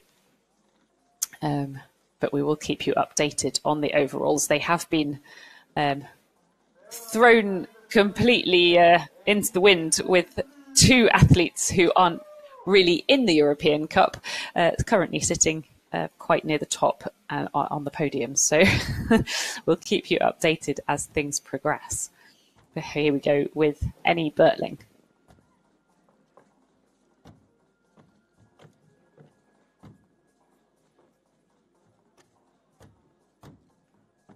having a little bit of trouble kicking her um, fronts into the plywood at this stage. Do you find that around the world on the different structures, the plywood does behave differently? Somewhat. I think it's, I feel fortunate in the US, we, uh, where, where we train in Boulder, Colorado, have very hard plywood. And goodness, I it, it is a real area of opportunity for me to kick into that. And so sometimes it's almost a benefit to train on that because then you get to these structures where the plywood is much softer and it's like a dream. I almost sometimes will get my front point stuck in it. Um, wow. but that being said, I think, yeah, depending on how, like where you're training, I do think there can be a difference um, across the different structures and that that can really impact how you kick into the plywood. I know, um, similar to taping your tools, modifying your tools. A lot of people will be really strategic about how they sharpen their front points or their even the picks on their tools, or they may have different front points, different picks that they swap in depending on the structure, depending on how much, much ice there is. Um, you might uh, modify or, or shave your uh, tool picks based on what kind of holds you can expect, whether they're going to be more rock holds, more resin holds. Do you want your pick to be sharper and kind of bite into some of the holds versus maybe a little bit more dull if you're going to be hooking them more or differently. Um, so yeah, I think there's also a ton of strategy in that that I'm still admittedly learning a lot about, um, but something that definitely factors into people's decisions as they're preparing. Mm. with the um, crampons, we we saw already in the um, U16 that some of the athletes had a different setup. How much scope is there for choosing what you do or don't do with your um, fruit boots and crampons? Yeah, I think um, the rakes, which are kind of the the side uh, sharp points of your crampon, rather than just the front point. Like you'll see on Annie's crampons that there are several points that mm. also face down. Um, yeah oftentimes I think part of the decision making process can be, do I want to be wearing crampons that like have rakes or do I want kind of more just a focus on the front point itself? And oftentimes the things that might play into that are how much ice is there going to be and how many volumes are there? How am I going to be going across these different volumes? Because the rakes can be really helpful to give you extra stability in the ice. If you just have like one front point, that can be a little bit sketchier. Um, and in the volumes, depending on the angle you're moving through them, it can help to kind of almost hook with the rakes and give you a bit more stability as you move through those as well. Um, so those are some of the things that I think people consider as they're deciding mm. what crampons to use. So is that a decision that they can make on the day or is it something that they have to decide on earlier? I think a lot of people will bring a variety of crampons and they can decide on the day. I know some people that also compete in speed, depending on the schedule of the competition. They may even have to be swapping their crampons out like that morning if they're in speed and then they're in lead later, because um, you use different crampons for, for speed climbing. And so, um, you you do want to come usually prepared with like extra tools, extra screws, things like that in case something goes wrong. Um, and so that you can modify as you learn more about the route or the route setting or um, just think about the conditions and what you're comfortable with. Wow. It's yeah, it's so interesting to learn uh, as somebody who doesn't ice climb. It's really interesting to hear that yeah, you're making multiple decisions. You're not just training to climb, but you're also learning about the equipment, learning all of the different types of equipment and what you can and can't do to that. Because obviously there are rules within the UIAA as to where you're allowed to mm-hmm. put crampons. I know that I read that you're not allowed to have them on the top of your foot at all um, mm-hmm. to aid hooks or anything like that. Um, and then, yeah, on the day, you're not only having to concentrate on your competitive performance um, from a physical perspective, but you, and from a mental perspective, but you're also then having to choose which equipment you're using and whether you have to change that around. Um, there's a lot going on. Yeah, definitely. And I know in, in South Korea, um, there was a little bit of shifting and kind of reassessing as far as the speed climbing. I think they had a protest and they were trying to decide what made sense for how to move forward, if they were going to redo some of the speed routes. And so I know that for teammates that were in the speed competition and also finals for lead, that ended up like really impacting some of their, their headspace because they were going back and forth about, okay, am I going to go in and redo my speed run now? Am I going to, isolation has opened for lead already. Am I supposed to be there? You know, it's a different headspace to be in if you're thinking mm-hmm. about speed climbing versus lead and like the equipment needed for it, especially in terms of crampons. Like, you know, is all of the stuff you need in isolation? Did you get a chance to eat lunch? And so things like that that maybe seem kind of basic that can really play into, you know, how confident someone feels or how ready they feel to compete. So, um, other little fun factors that can come into play at different competitions. Yeah, absolutely incredible. And what something else that's incredible is Annie Bertling, um, who is about to top route. Um, not sure how quickly she's done it. We'll have to wait um, and find out what her time was. Uh, we'll just wait for the online system to update. But an incredible performance, as expected, from Annie Bertling wow, her time has just come in as a 6.18. So she does go into first place, uh, gold medal position for Annie Bertling. Wow, that's incredibly fast. Yeah, absolutely. I really didn't think we were going to see anyone beat Haruko. um, so, yeah, wow. Well done, Annie Bertling, currently in gold medal position, pushes Haruko down to silver medal position.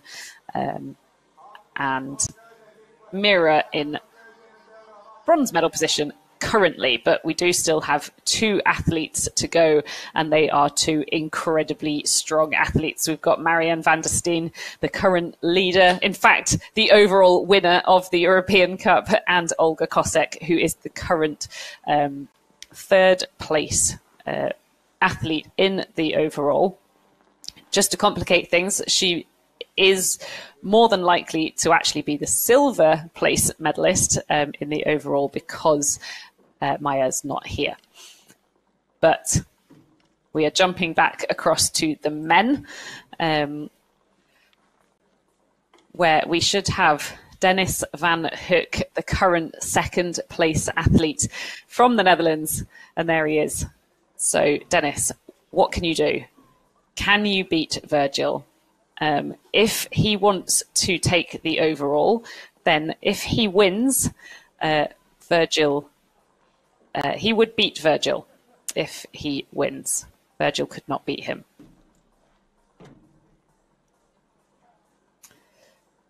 But after that, it gets far more complicated. So we'll wait and find out where he gets to and then update you uh, rather than me giving you a million choices for what could happen over the course of this competition. Let's just enjoy him climbing for the time being.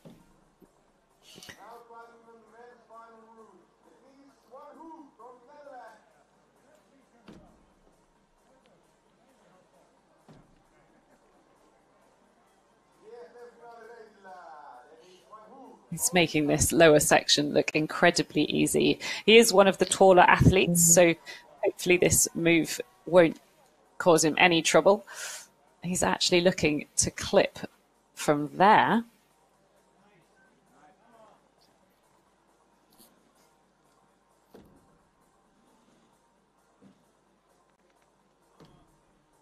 So here we go, an easy reach for Dennis Van Hoek, but not able to quite get the pick in the right place.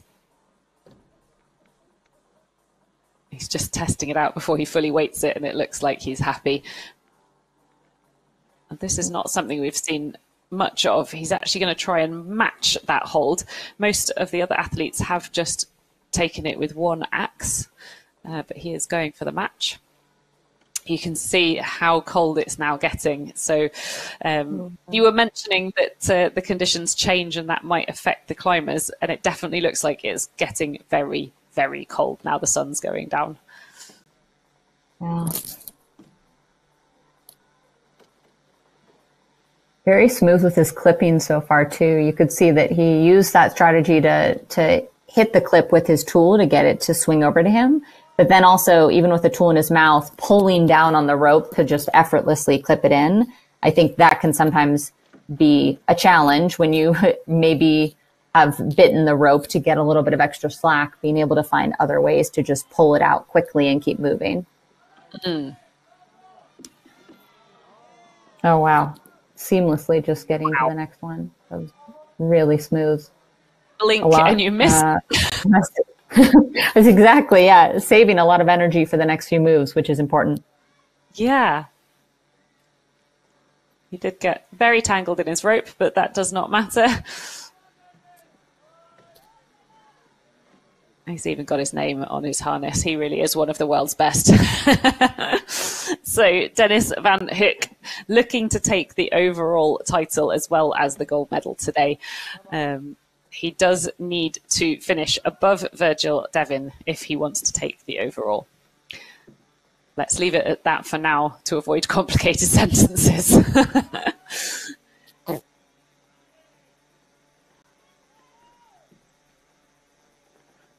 Just not quite getting into the right position just yet for this next move.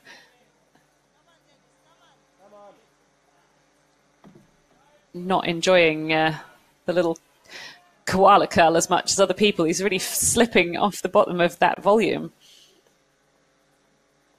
Yeah, and this is where actually being taller might be a bit more awkward because um, it it's a little bit more scrunched up, and so it seems like to get that reach, he maybe has to be a little bit more creative here. Yeah, that's a good point. He just seemed to really uh, almost as soon as he got his legs wrapped around, they were just sliding. So maybe he needs some less slidey yeah. trousers.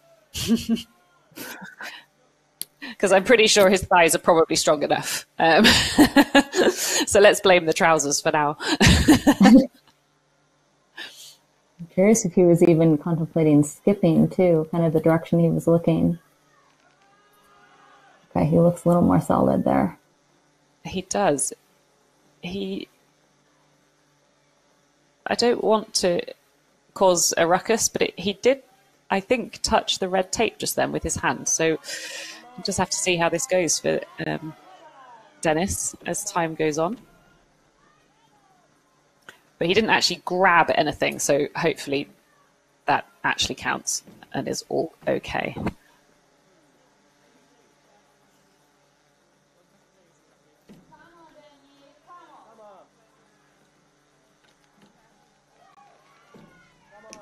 Easily making it out to that nice jug. Um, and then the next one from memory is not such a good hold, um, a little bit tenuous.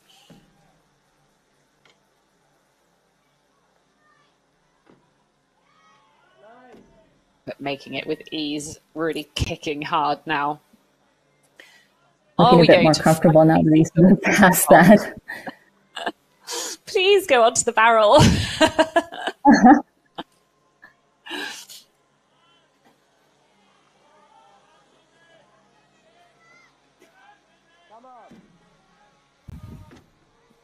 You can hear people shouting down below, come on, come on. Uh, it's not just me that wants to see these climbers get higher.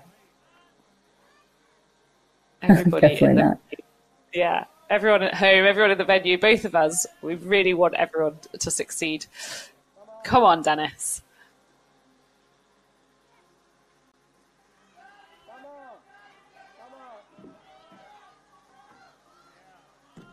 So, by my reckoning, he has now equaled uh, Andreas Gantner. Yes, he has. So he's moved into gold medal position. Currently, he would also take the overall, uh, but obviously, we do still have four climbers to go after this, so anything could happen. Wow, big lot of snow coming down, along with Dennis Van Hoek. Glad Looking... we had that one. I'm not sure what that was that he's just shouted, but he seemed pretty surprised to have fallen there and a bit disappointed. Um,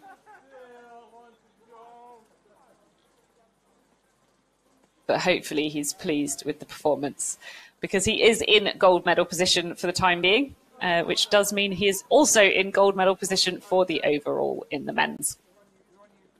So we jump back once again to the women's. Uh, and we have our overall winner, Marianne van der Steen, coming up next.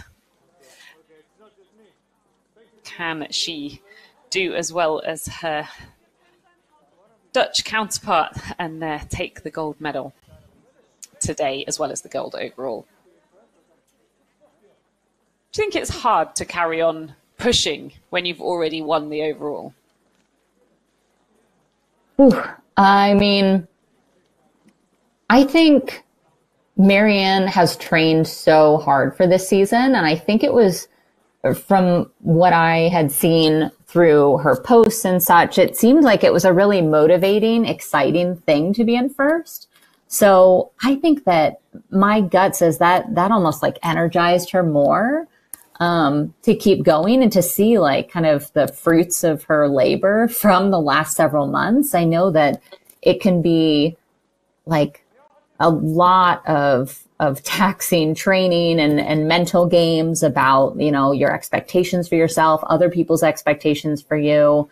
Have you done enough? What is the next competition going to be like? So I could see how sometimes, yes, it would probably be hard to stay motivated, but I think based on just how hard she's worked and, and how thrilling that was to do well, I, I would imagine that it was propel her to, to keep pushing even harder. Yeah, I imagine also with it being the final round and knowing that you're going to get crowned overall uh, cup winner, you also want to take the gold medal as well. Um, yeah. Um, and to know that you, yeah, you kept on pushing and, and did well all the way through. Um, yeah, and maybe it's extra motivating.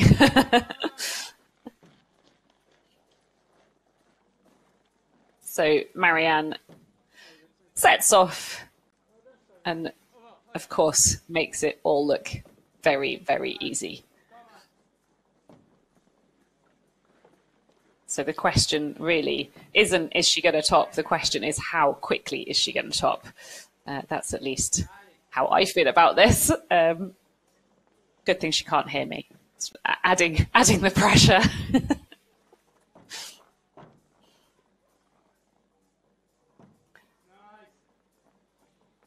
So fantastic images there. It's a little bit um, misleading. The the wall isn't actually uh, going away from the climber. The the wall is slightly overhanging. Um, the perspective is a little bit um, off on that camera angle. So Marianne really having to work hard all the way from the bottom of this wall. But this is her victory dance. You can see her using her hand there on the hold. That that's a, an effective way to get higher too. That's fine as long as it's part of the the route there. Perfect. So yeah, she wouldn't be allowed to use anything else, but so long as it's part of the route, um, she can use her hands for whatever she wants.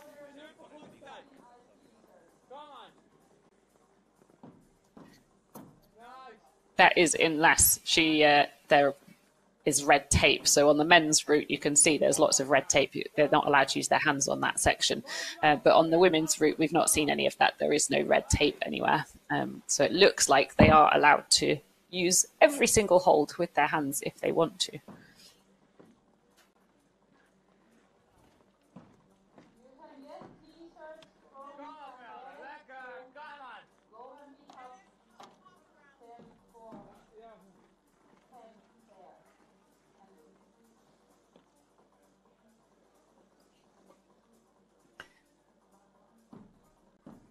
So really making very smooth work of this lower section. Um, I say lower section, the women's route almost isn't in sections, it's just straight up this wall, this slightly overhanging wall, and then onto the impressive jump at the end. And so far, everyone that has attempted that has made it and topped out. So it really is all over once you make the jump onto the hold next to clip 14.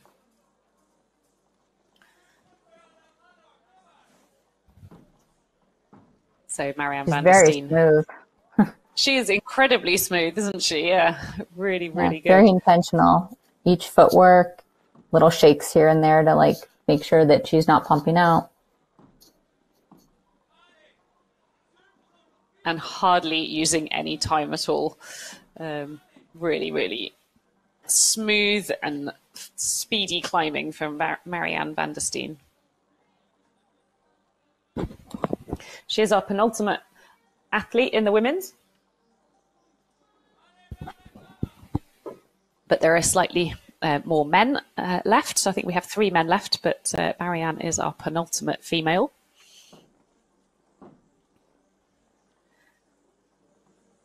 And certainly looks like she will be able to do the full victory lap on this route.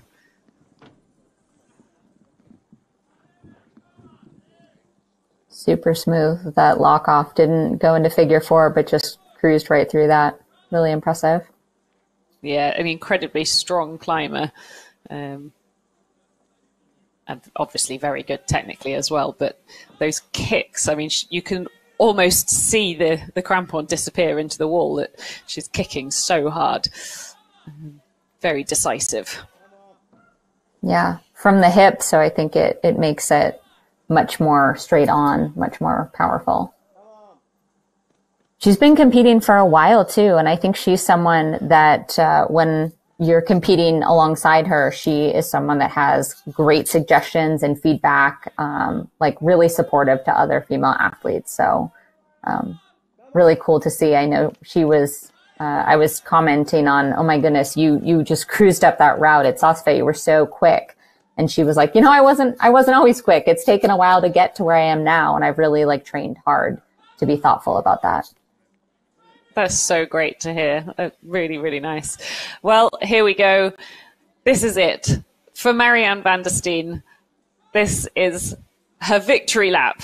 She has won the overall European Cup and quite possibly has also won the uh, gold medal in Oulu as well, but we will wait to find that out. There is still one more athlete and her time has not been confirmed just yet, but I'm pretty sure that was a very, very fast time. Yeah, over two minutes left. Wow, it's looking like 5.30. Wow. Wow. 5.30 for Marianne van der Steen. That is incredible. incredible. wow. Seems like maybe it was extra motivation for her to really push through that and yeah. aim for first place.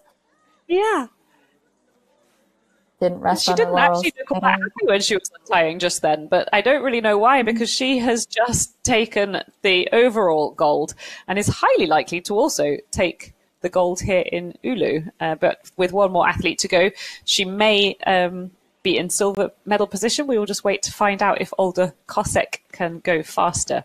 But that is an incredible time to beat, isn't it? 5.30. What a performance. Wow, yeah. Absolutely fantastic.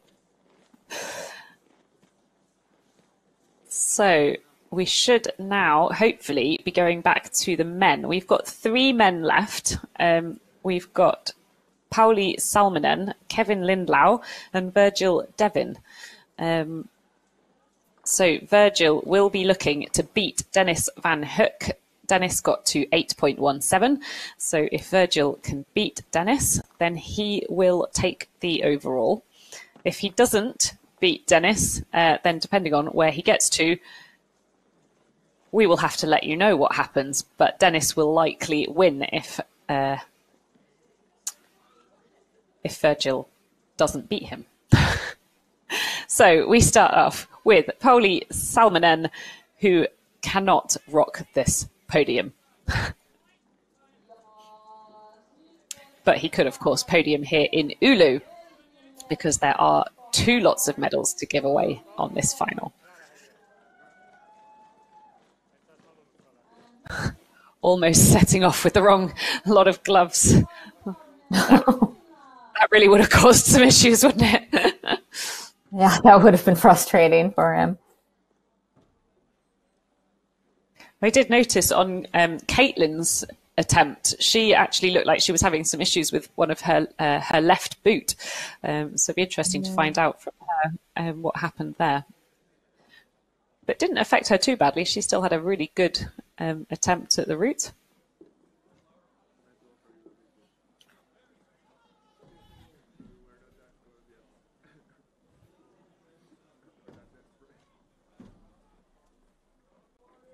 I think that that is a, an athlete's, uh, I don't want to say worst fear, but that's definitely something you don't want is to get up there and have issues with either crampon or, or some piece of gear that is pretty critical to your ability to do the route.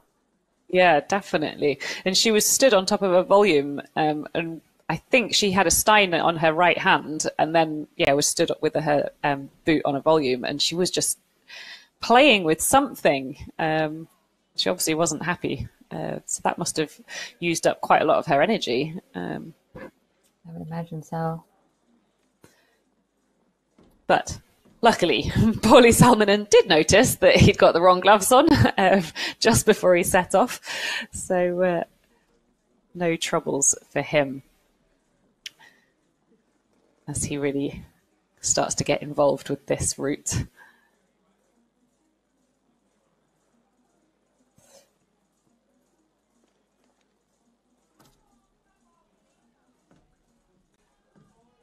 I know in North American, uh, the Continental Cup last year in Ouray, it was so cold and there was ice at the beginning part of the route that some athletes even started with different gloves. And I think oh, this wow. is probably different everywhere, but in Ouray, they said, you know, if you drop anything, you will be disqualified. And so athletes were strategizing wearing larger gloves through the ice part and then taking them off and stuffing them down their shirt with the hope that the harness would keep it in. Um, so haven't seen that at any World Cups or even when it's so cold in Finland, but I know that's something that people were um, getting creative with before. Yeah, that's such a big risk to take as well. Yeah. so another athlete there stabilizing themselves and touching that red tape. So it's going to be really interesting to see what happens after this, because um, I think he's the third or fourth athlete that's actually done that. Um, they might just have to say, "Fine, you're allowed to stabilize." I suppose if they're not pulling up on it, maybe the maybe that's where that rule comes into play. We shall wait and find out.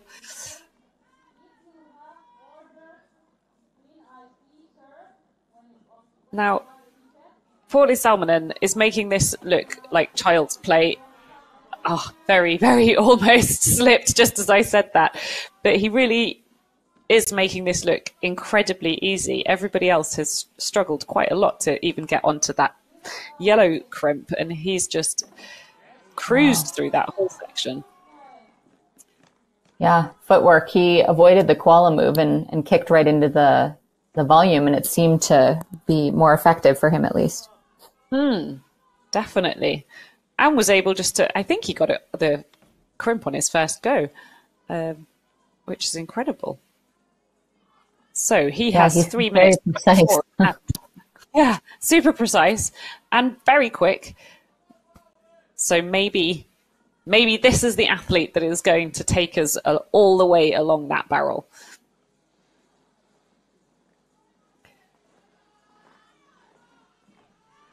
Once he has finished his climb, we should know our first podium finisher for today's competition. We won't necessarily know our podium finishers for the overall, um, but yeah, we will know our first podium finisher for today once he's finished.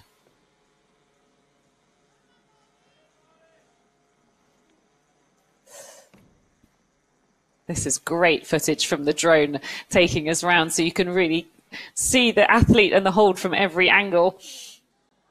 and it is actually getting really quite dark now in Oulu. I was going to say, it's definitely shifted, huh? yeah. So I wonder how the shadowing will play a part because obviously the first athletes wouldn't have. Oh, oh, no. that came as a surprise. but he seems very happy with it anyway, giving the crowd a massive salute. Uh, it looks like he did lose an axe. I didn't see if it fell down or if it's still up there. Um, but big smiles from Pauli Salminen. Um, so we'll just wait for his score to come in before I confirm where he got to. Um, but certainly not shaking up the podium today.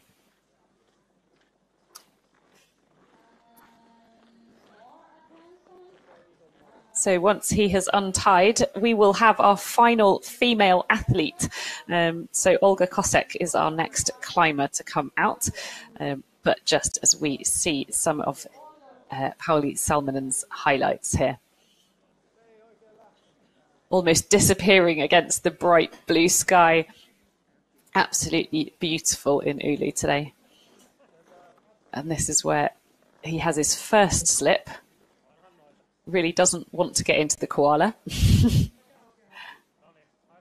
oh, he does leave his axe up there. He just twists off his other axe.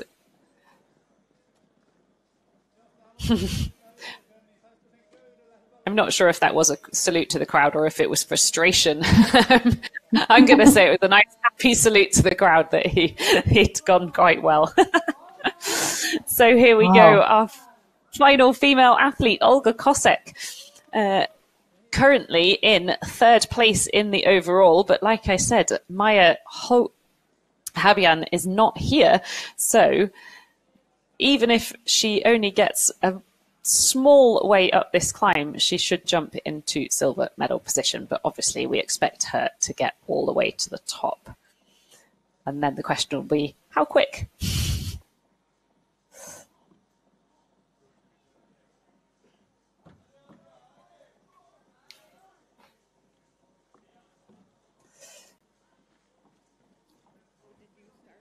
Olga has been on fire this year, um, competing in every round of the um, UIAA World Cups. Um, she's taken eighth place in Cheongsong. Um, she also she podiumed in the speed in the Champagny and came third. Uh, she came eleventh in the lead. Um, and she came second last weekend in Glasgow in the European Cup. So she really has been doing very well this season, which is why she sat in third place in the overall. I know she really fought for the speed in Cheongsong as well, too. I think she got fourth, if I remember correctly, like just missing the podium. And I remember that was when the athletes had to redo some of the speed runs. And so she had a lot of uh, uh, climbing that day and, and really, I think, held her own and stayed incredibly strong. I know she's someone who also has a lot of competition experience um, and was fortunate to be able to be at uh, one of the first UIAA training camps earlier in the season in Brno, Czech Republic. And she was really someone who served as a mentor for other people there, especially newer climbers, noticing things and, and saying, Hey, it seems like these are some types of movements that we may want to focus some more energy on or you know, can I give some feedback here? And um, so someone who also I think is is really willing to share her experience to help other people grow in the sport. Incredible. So uh, there was a UIAA training camp. That was everybody invited to that? Oh. I, I think it was open to any athletes who, who wanted to go. Um, I, I believe it's a newer thing the UIAA is trying, and um, thinking about how to continue to adapt it for the future um, to have different opportunities to train across different mm. nations. That's a great idea. Get everybody together, learn off each other, um, and expand the sport as well. Yeah, especially early in the season too, before things really heat up and people are doing more travel and maybe there's a little bit more stress from the competitions. I think that can sometimes make it a little bit harder to connect in the same way. Mm. Yeah, that is true.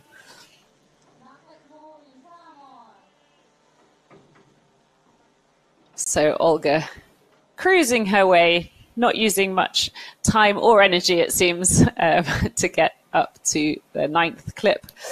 Um, she will need to top if she wants to um, keep in the runnings for today's podium.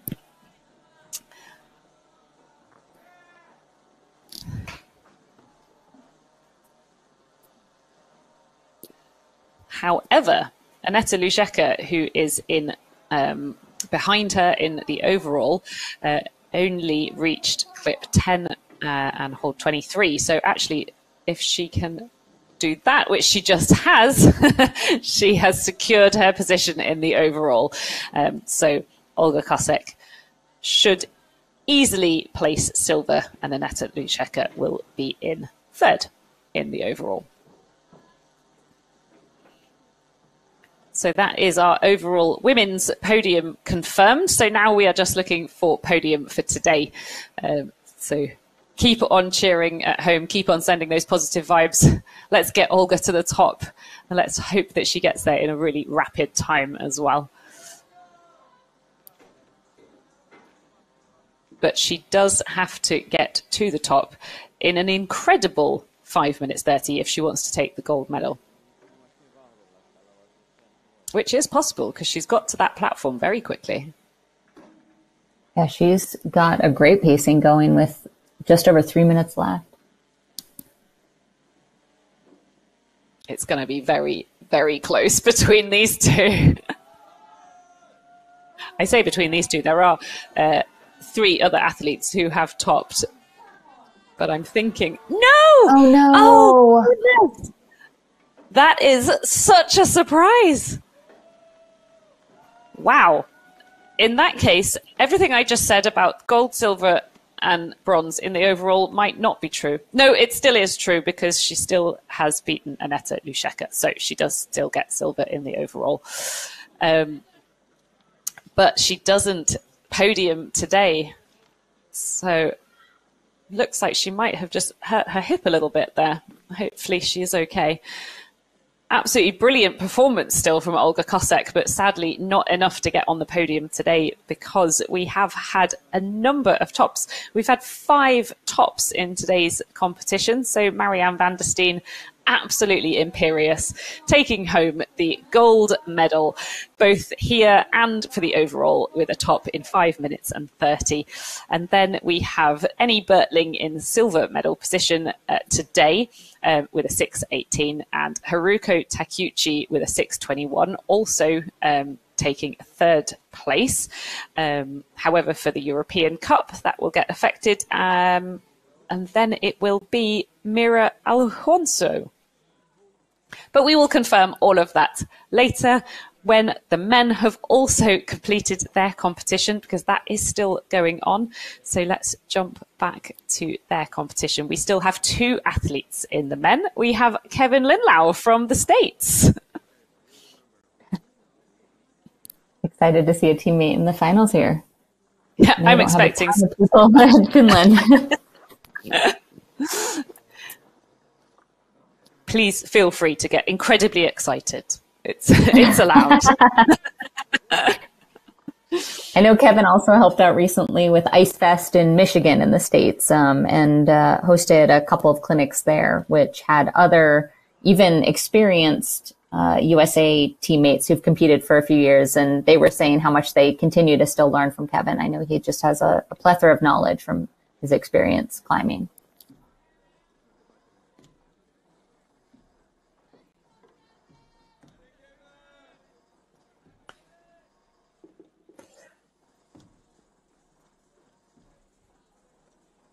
So a little hesitation on that hold, um, choosing not to use his hand on the volume, um, but still looking confident. He does just reach down and use his hand to press against that volume.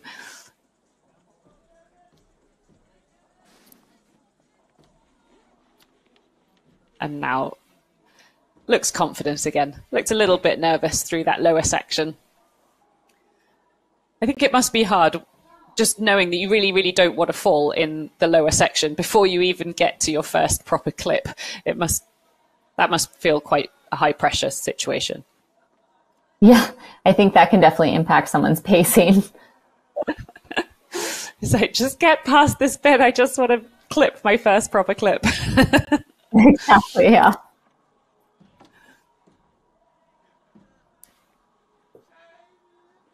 Straight away for the figure nine.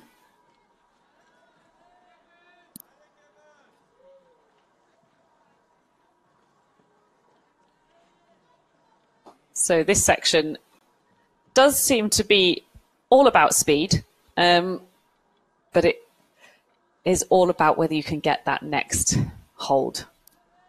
But so far, everybody that has then moved away from that and done quite well has got there on their second or third attempt to get the next crimp. So how quickly can Kevin do it?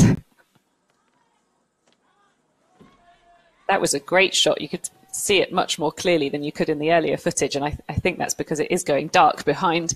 So you can really see yeah. that little um, metal sort of stub, for want of a better word, um, that's protruding from the resin hold.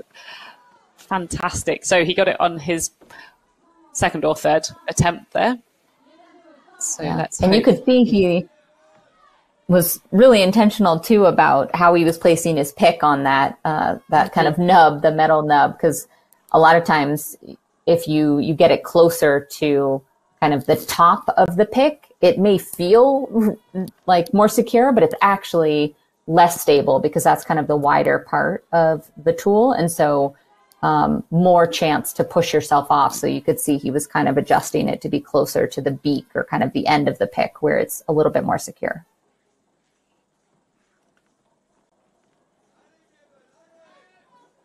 So he had good placement and very confident to get that hold, but now looks a little unsure how to move away from that hold.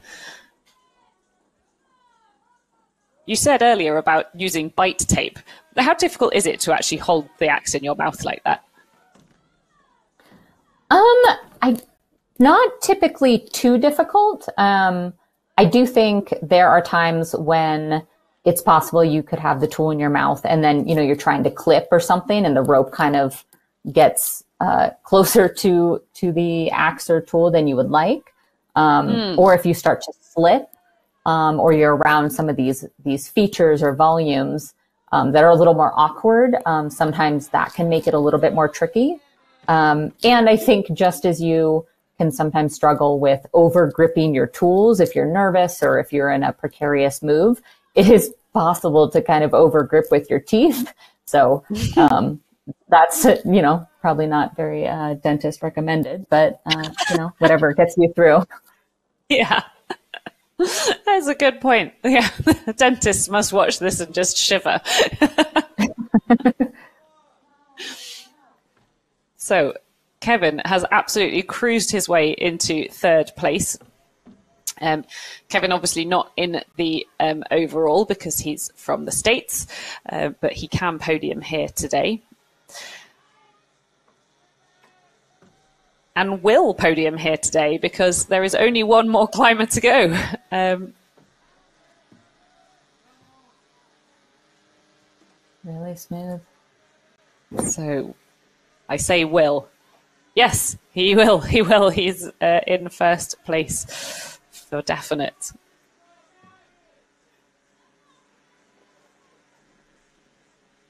But there is still the overall leader to come, Virgil Devin. So who knows what will happen. Almost two minutes still left on the clock for Kevin.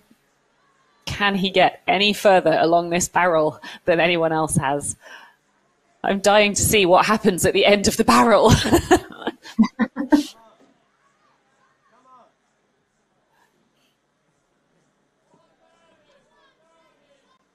Definitely taking his time to shake out a few different matches to kind of get himself set up to where he wanted to be as well. Hmm. It looks like Oof. this hold you have to be super precise. It looks like the tiniest of little slots in Ooh, possibly resin, not sure. But he's done it. He has got a whole hold further than anyone else has.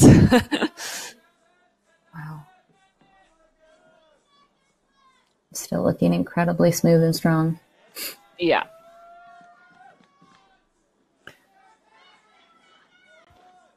So this could potentially make our maths a little bit tricky for the European overall, um, but we'll just have to see how far Virgil gets. Um, but for now, let's appreciate. Oh, he's appreciate it. he's wow. Oh, slams into the real ice wall there. Incredibly very, strong performance. yeah, that was incredible hopefully very happy with that. Does currently sit in the gold medal position in the European Cup. Um, he is, of course, not from Europe, so uh, the other person that sits at the top of the table for the European Cup is Dennis Van Hoek. He looks really tempted to use that large white volume with his hand, but then thought better of it and just pressed down, almost sort of mantled on the blue volume instead.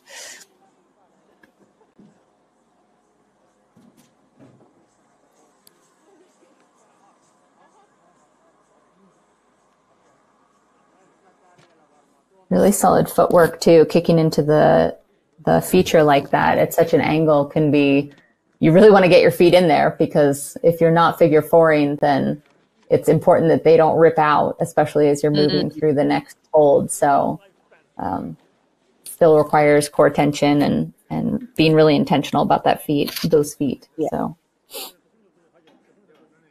let's just see what really exactly happened. Looks like his hands just slipped off. I wonder, just probably so pumped after moving through the roof as long as he did. I guess so. It is a very, very long roof here in Oulu, and look at that absolutely stunning footage as the uh, the sun sets here in Oulu.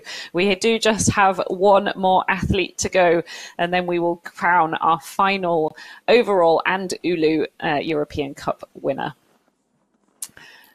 we don't know who that will be. It could be Virgil. It could be Dennis Van Hoek. We will find out in the next few minutes. I can barely contain myself. Kevin Lindlau must barely be able to contain himself, and it doesn't even uh, actually affect him that much because he can't take the overall, being uh, being an American. but he uh, will also be sort of hoping that that he takes the gold. Um, I've just been sent a message that um, the team think that uh, it is now locked in, um, but I don't think it has. Uh, so Devin could still win depending on how high he gets. So let's just wait and see what happens.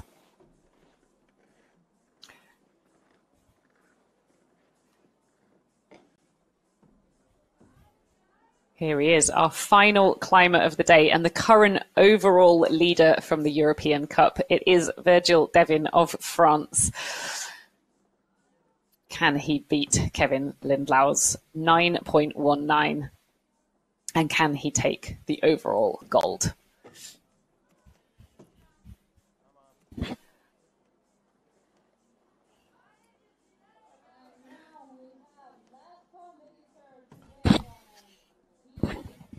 So the crucial thing will be to look at whether he gets above Dennis Van Hoek's 8.17. If he gets above that, then by my reckoning, he will have won the overall, but we will have to wait and find out exactly where he places. Really smooth. Just went right into that hold.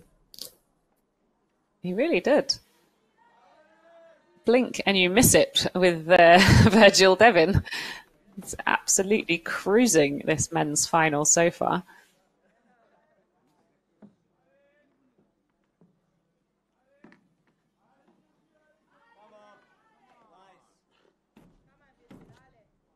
choosing to cut loose quite a lot, um, but he's obviously got the core stability and uh, endurance to, to be okay with that. He will know how far he's got to go on this overhanging section. Oh, and skipping right ahead to the next hold. Yeah. Impressive. So just a couple more moves and he will be in third place um, in this Oulu um, round.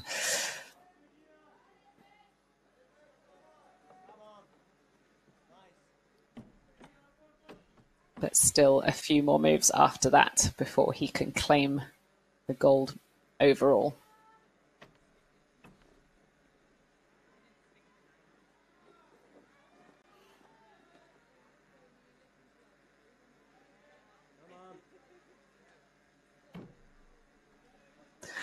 God, his my oh, my heart was in my mouth as he released. Then the release looked really really big. thought he might come off on that move. The snow too kind of throws me off. Not sure what's yeah. falling. Wow. So Still he is now in just under second. four minutes. Yeah. Come on, Virgil. Let's go for gold. I know Ryan probably wants Kevin to, to win, but there we go. He does take gold. He takes gold in both the Oulu European Cup round and in the overall European Cup. Congratulations, Virgil Devin. Let's hope he can get even further on this route and really impress the crowd and everyone at home what an incredible show we have had today. So many twists and turns, so many calculations to make, but Virgil has been dominant through this season.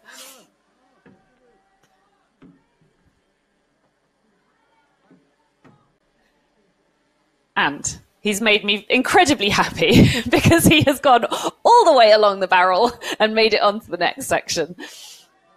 I was thinking about that. You'd been wanting that this whole time. So, you know, yeah. I think he is uh, uh, very well deserved the, the gold here. Yeah, absolutely. And he's still got plenty of time left on the clock. So we might even see a top. Wouldn't that be amazing? That would be quite the finish.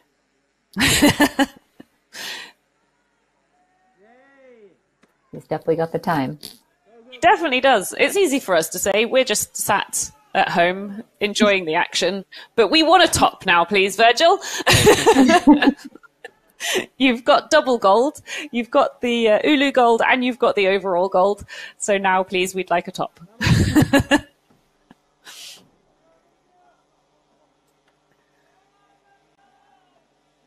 so he's got the next clip.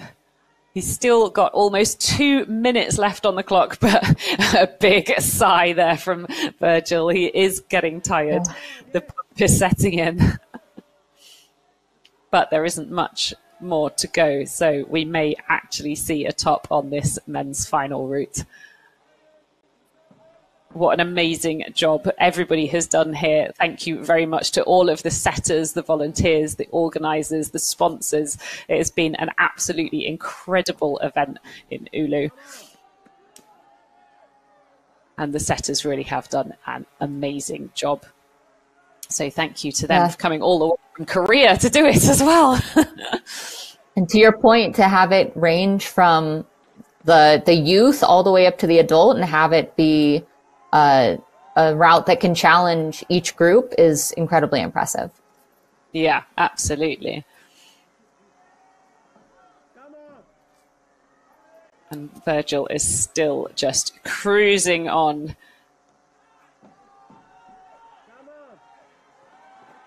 And he's done it. Wow. Has he? No, he hasn't. I celebrate. I mean, he has oh, wow. done it. He has got gold, but he hasn't got the top just yet. I thought that was the last hold. That there is an exciting. How strenuous it is. Yeah. Wow. Oh. Doesn't even hesitate. Doesn't even hesitate. One more hold and he will have done it. 20 seconds. He's almost there. Gotta get the clip. Gotta get the clip. Come on, oh, Virgil. no. Oh no! Oh. Come on! No. Oh. Oh, that was Incredible absolutely performance. incredible. So good. Very, Wow. very almost a top. Wow. He looks he looks happy with it and tired.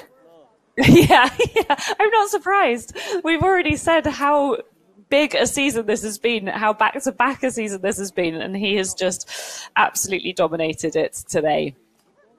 Cruising his way almost to the top when everybody else fell about halfway down the route. So, absolutely incredible stuff from Virgil Devin.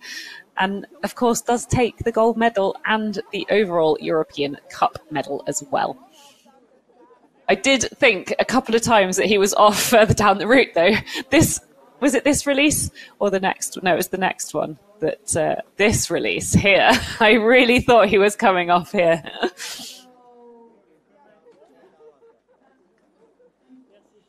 Heart in mouth moment.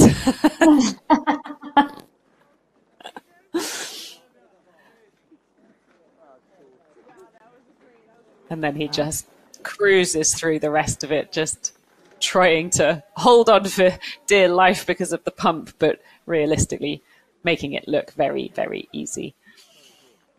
So Just to show is how it. important pacing is. Absolutely, absolutely. And it, he didn't really seem to slow down much. He just seemed to keep a pretty consistent speed all the way through. Um, It really was an imperious performance from uh, Virgil Devin. And a very, very, very well deserved gold medal. So once Virgil's uh, replays are over, we will get to see all of the various uh, leaderboards, scoreboards from today.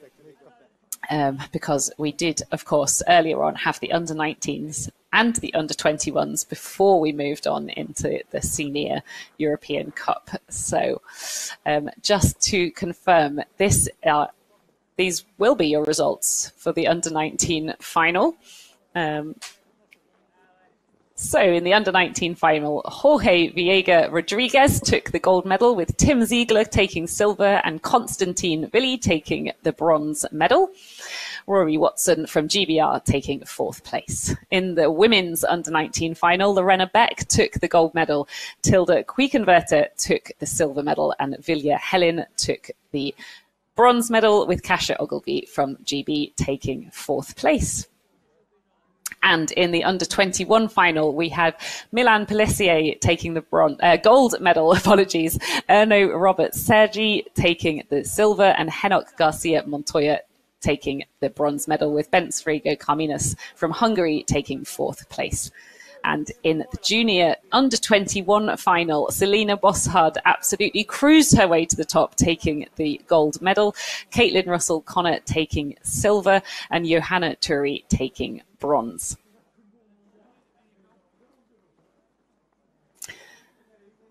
Now on to the men's European Cup final. Um, so to confirm, it was Virgil Devin in gold medal position, Kevin Landau Lau in silver medal position, and Dennis Van Hoek in bronze medal, with Andreas Gantner from Liechtenstein taking fourth place. And in the women's uh, Oulu European Cup final, it was Marianne van der Steen in gold place, Eni Bertling in silver, Haruko Takeuchi in third, and Miro Alonso taking the fourth position for Finland. And your overall cup results, it is Marianne van der Steen taking the gold from for Netherlands. It's Olga Kosek for Poland in silver and Aneta Luzecka from Czech Republic in third. Maja sister Habjan from Slovenia taking fourth medal position because she was not able to compete today. And in the men's, Virgil Devin took gold with 340 points for France.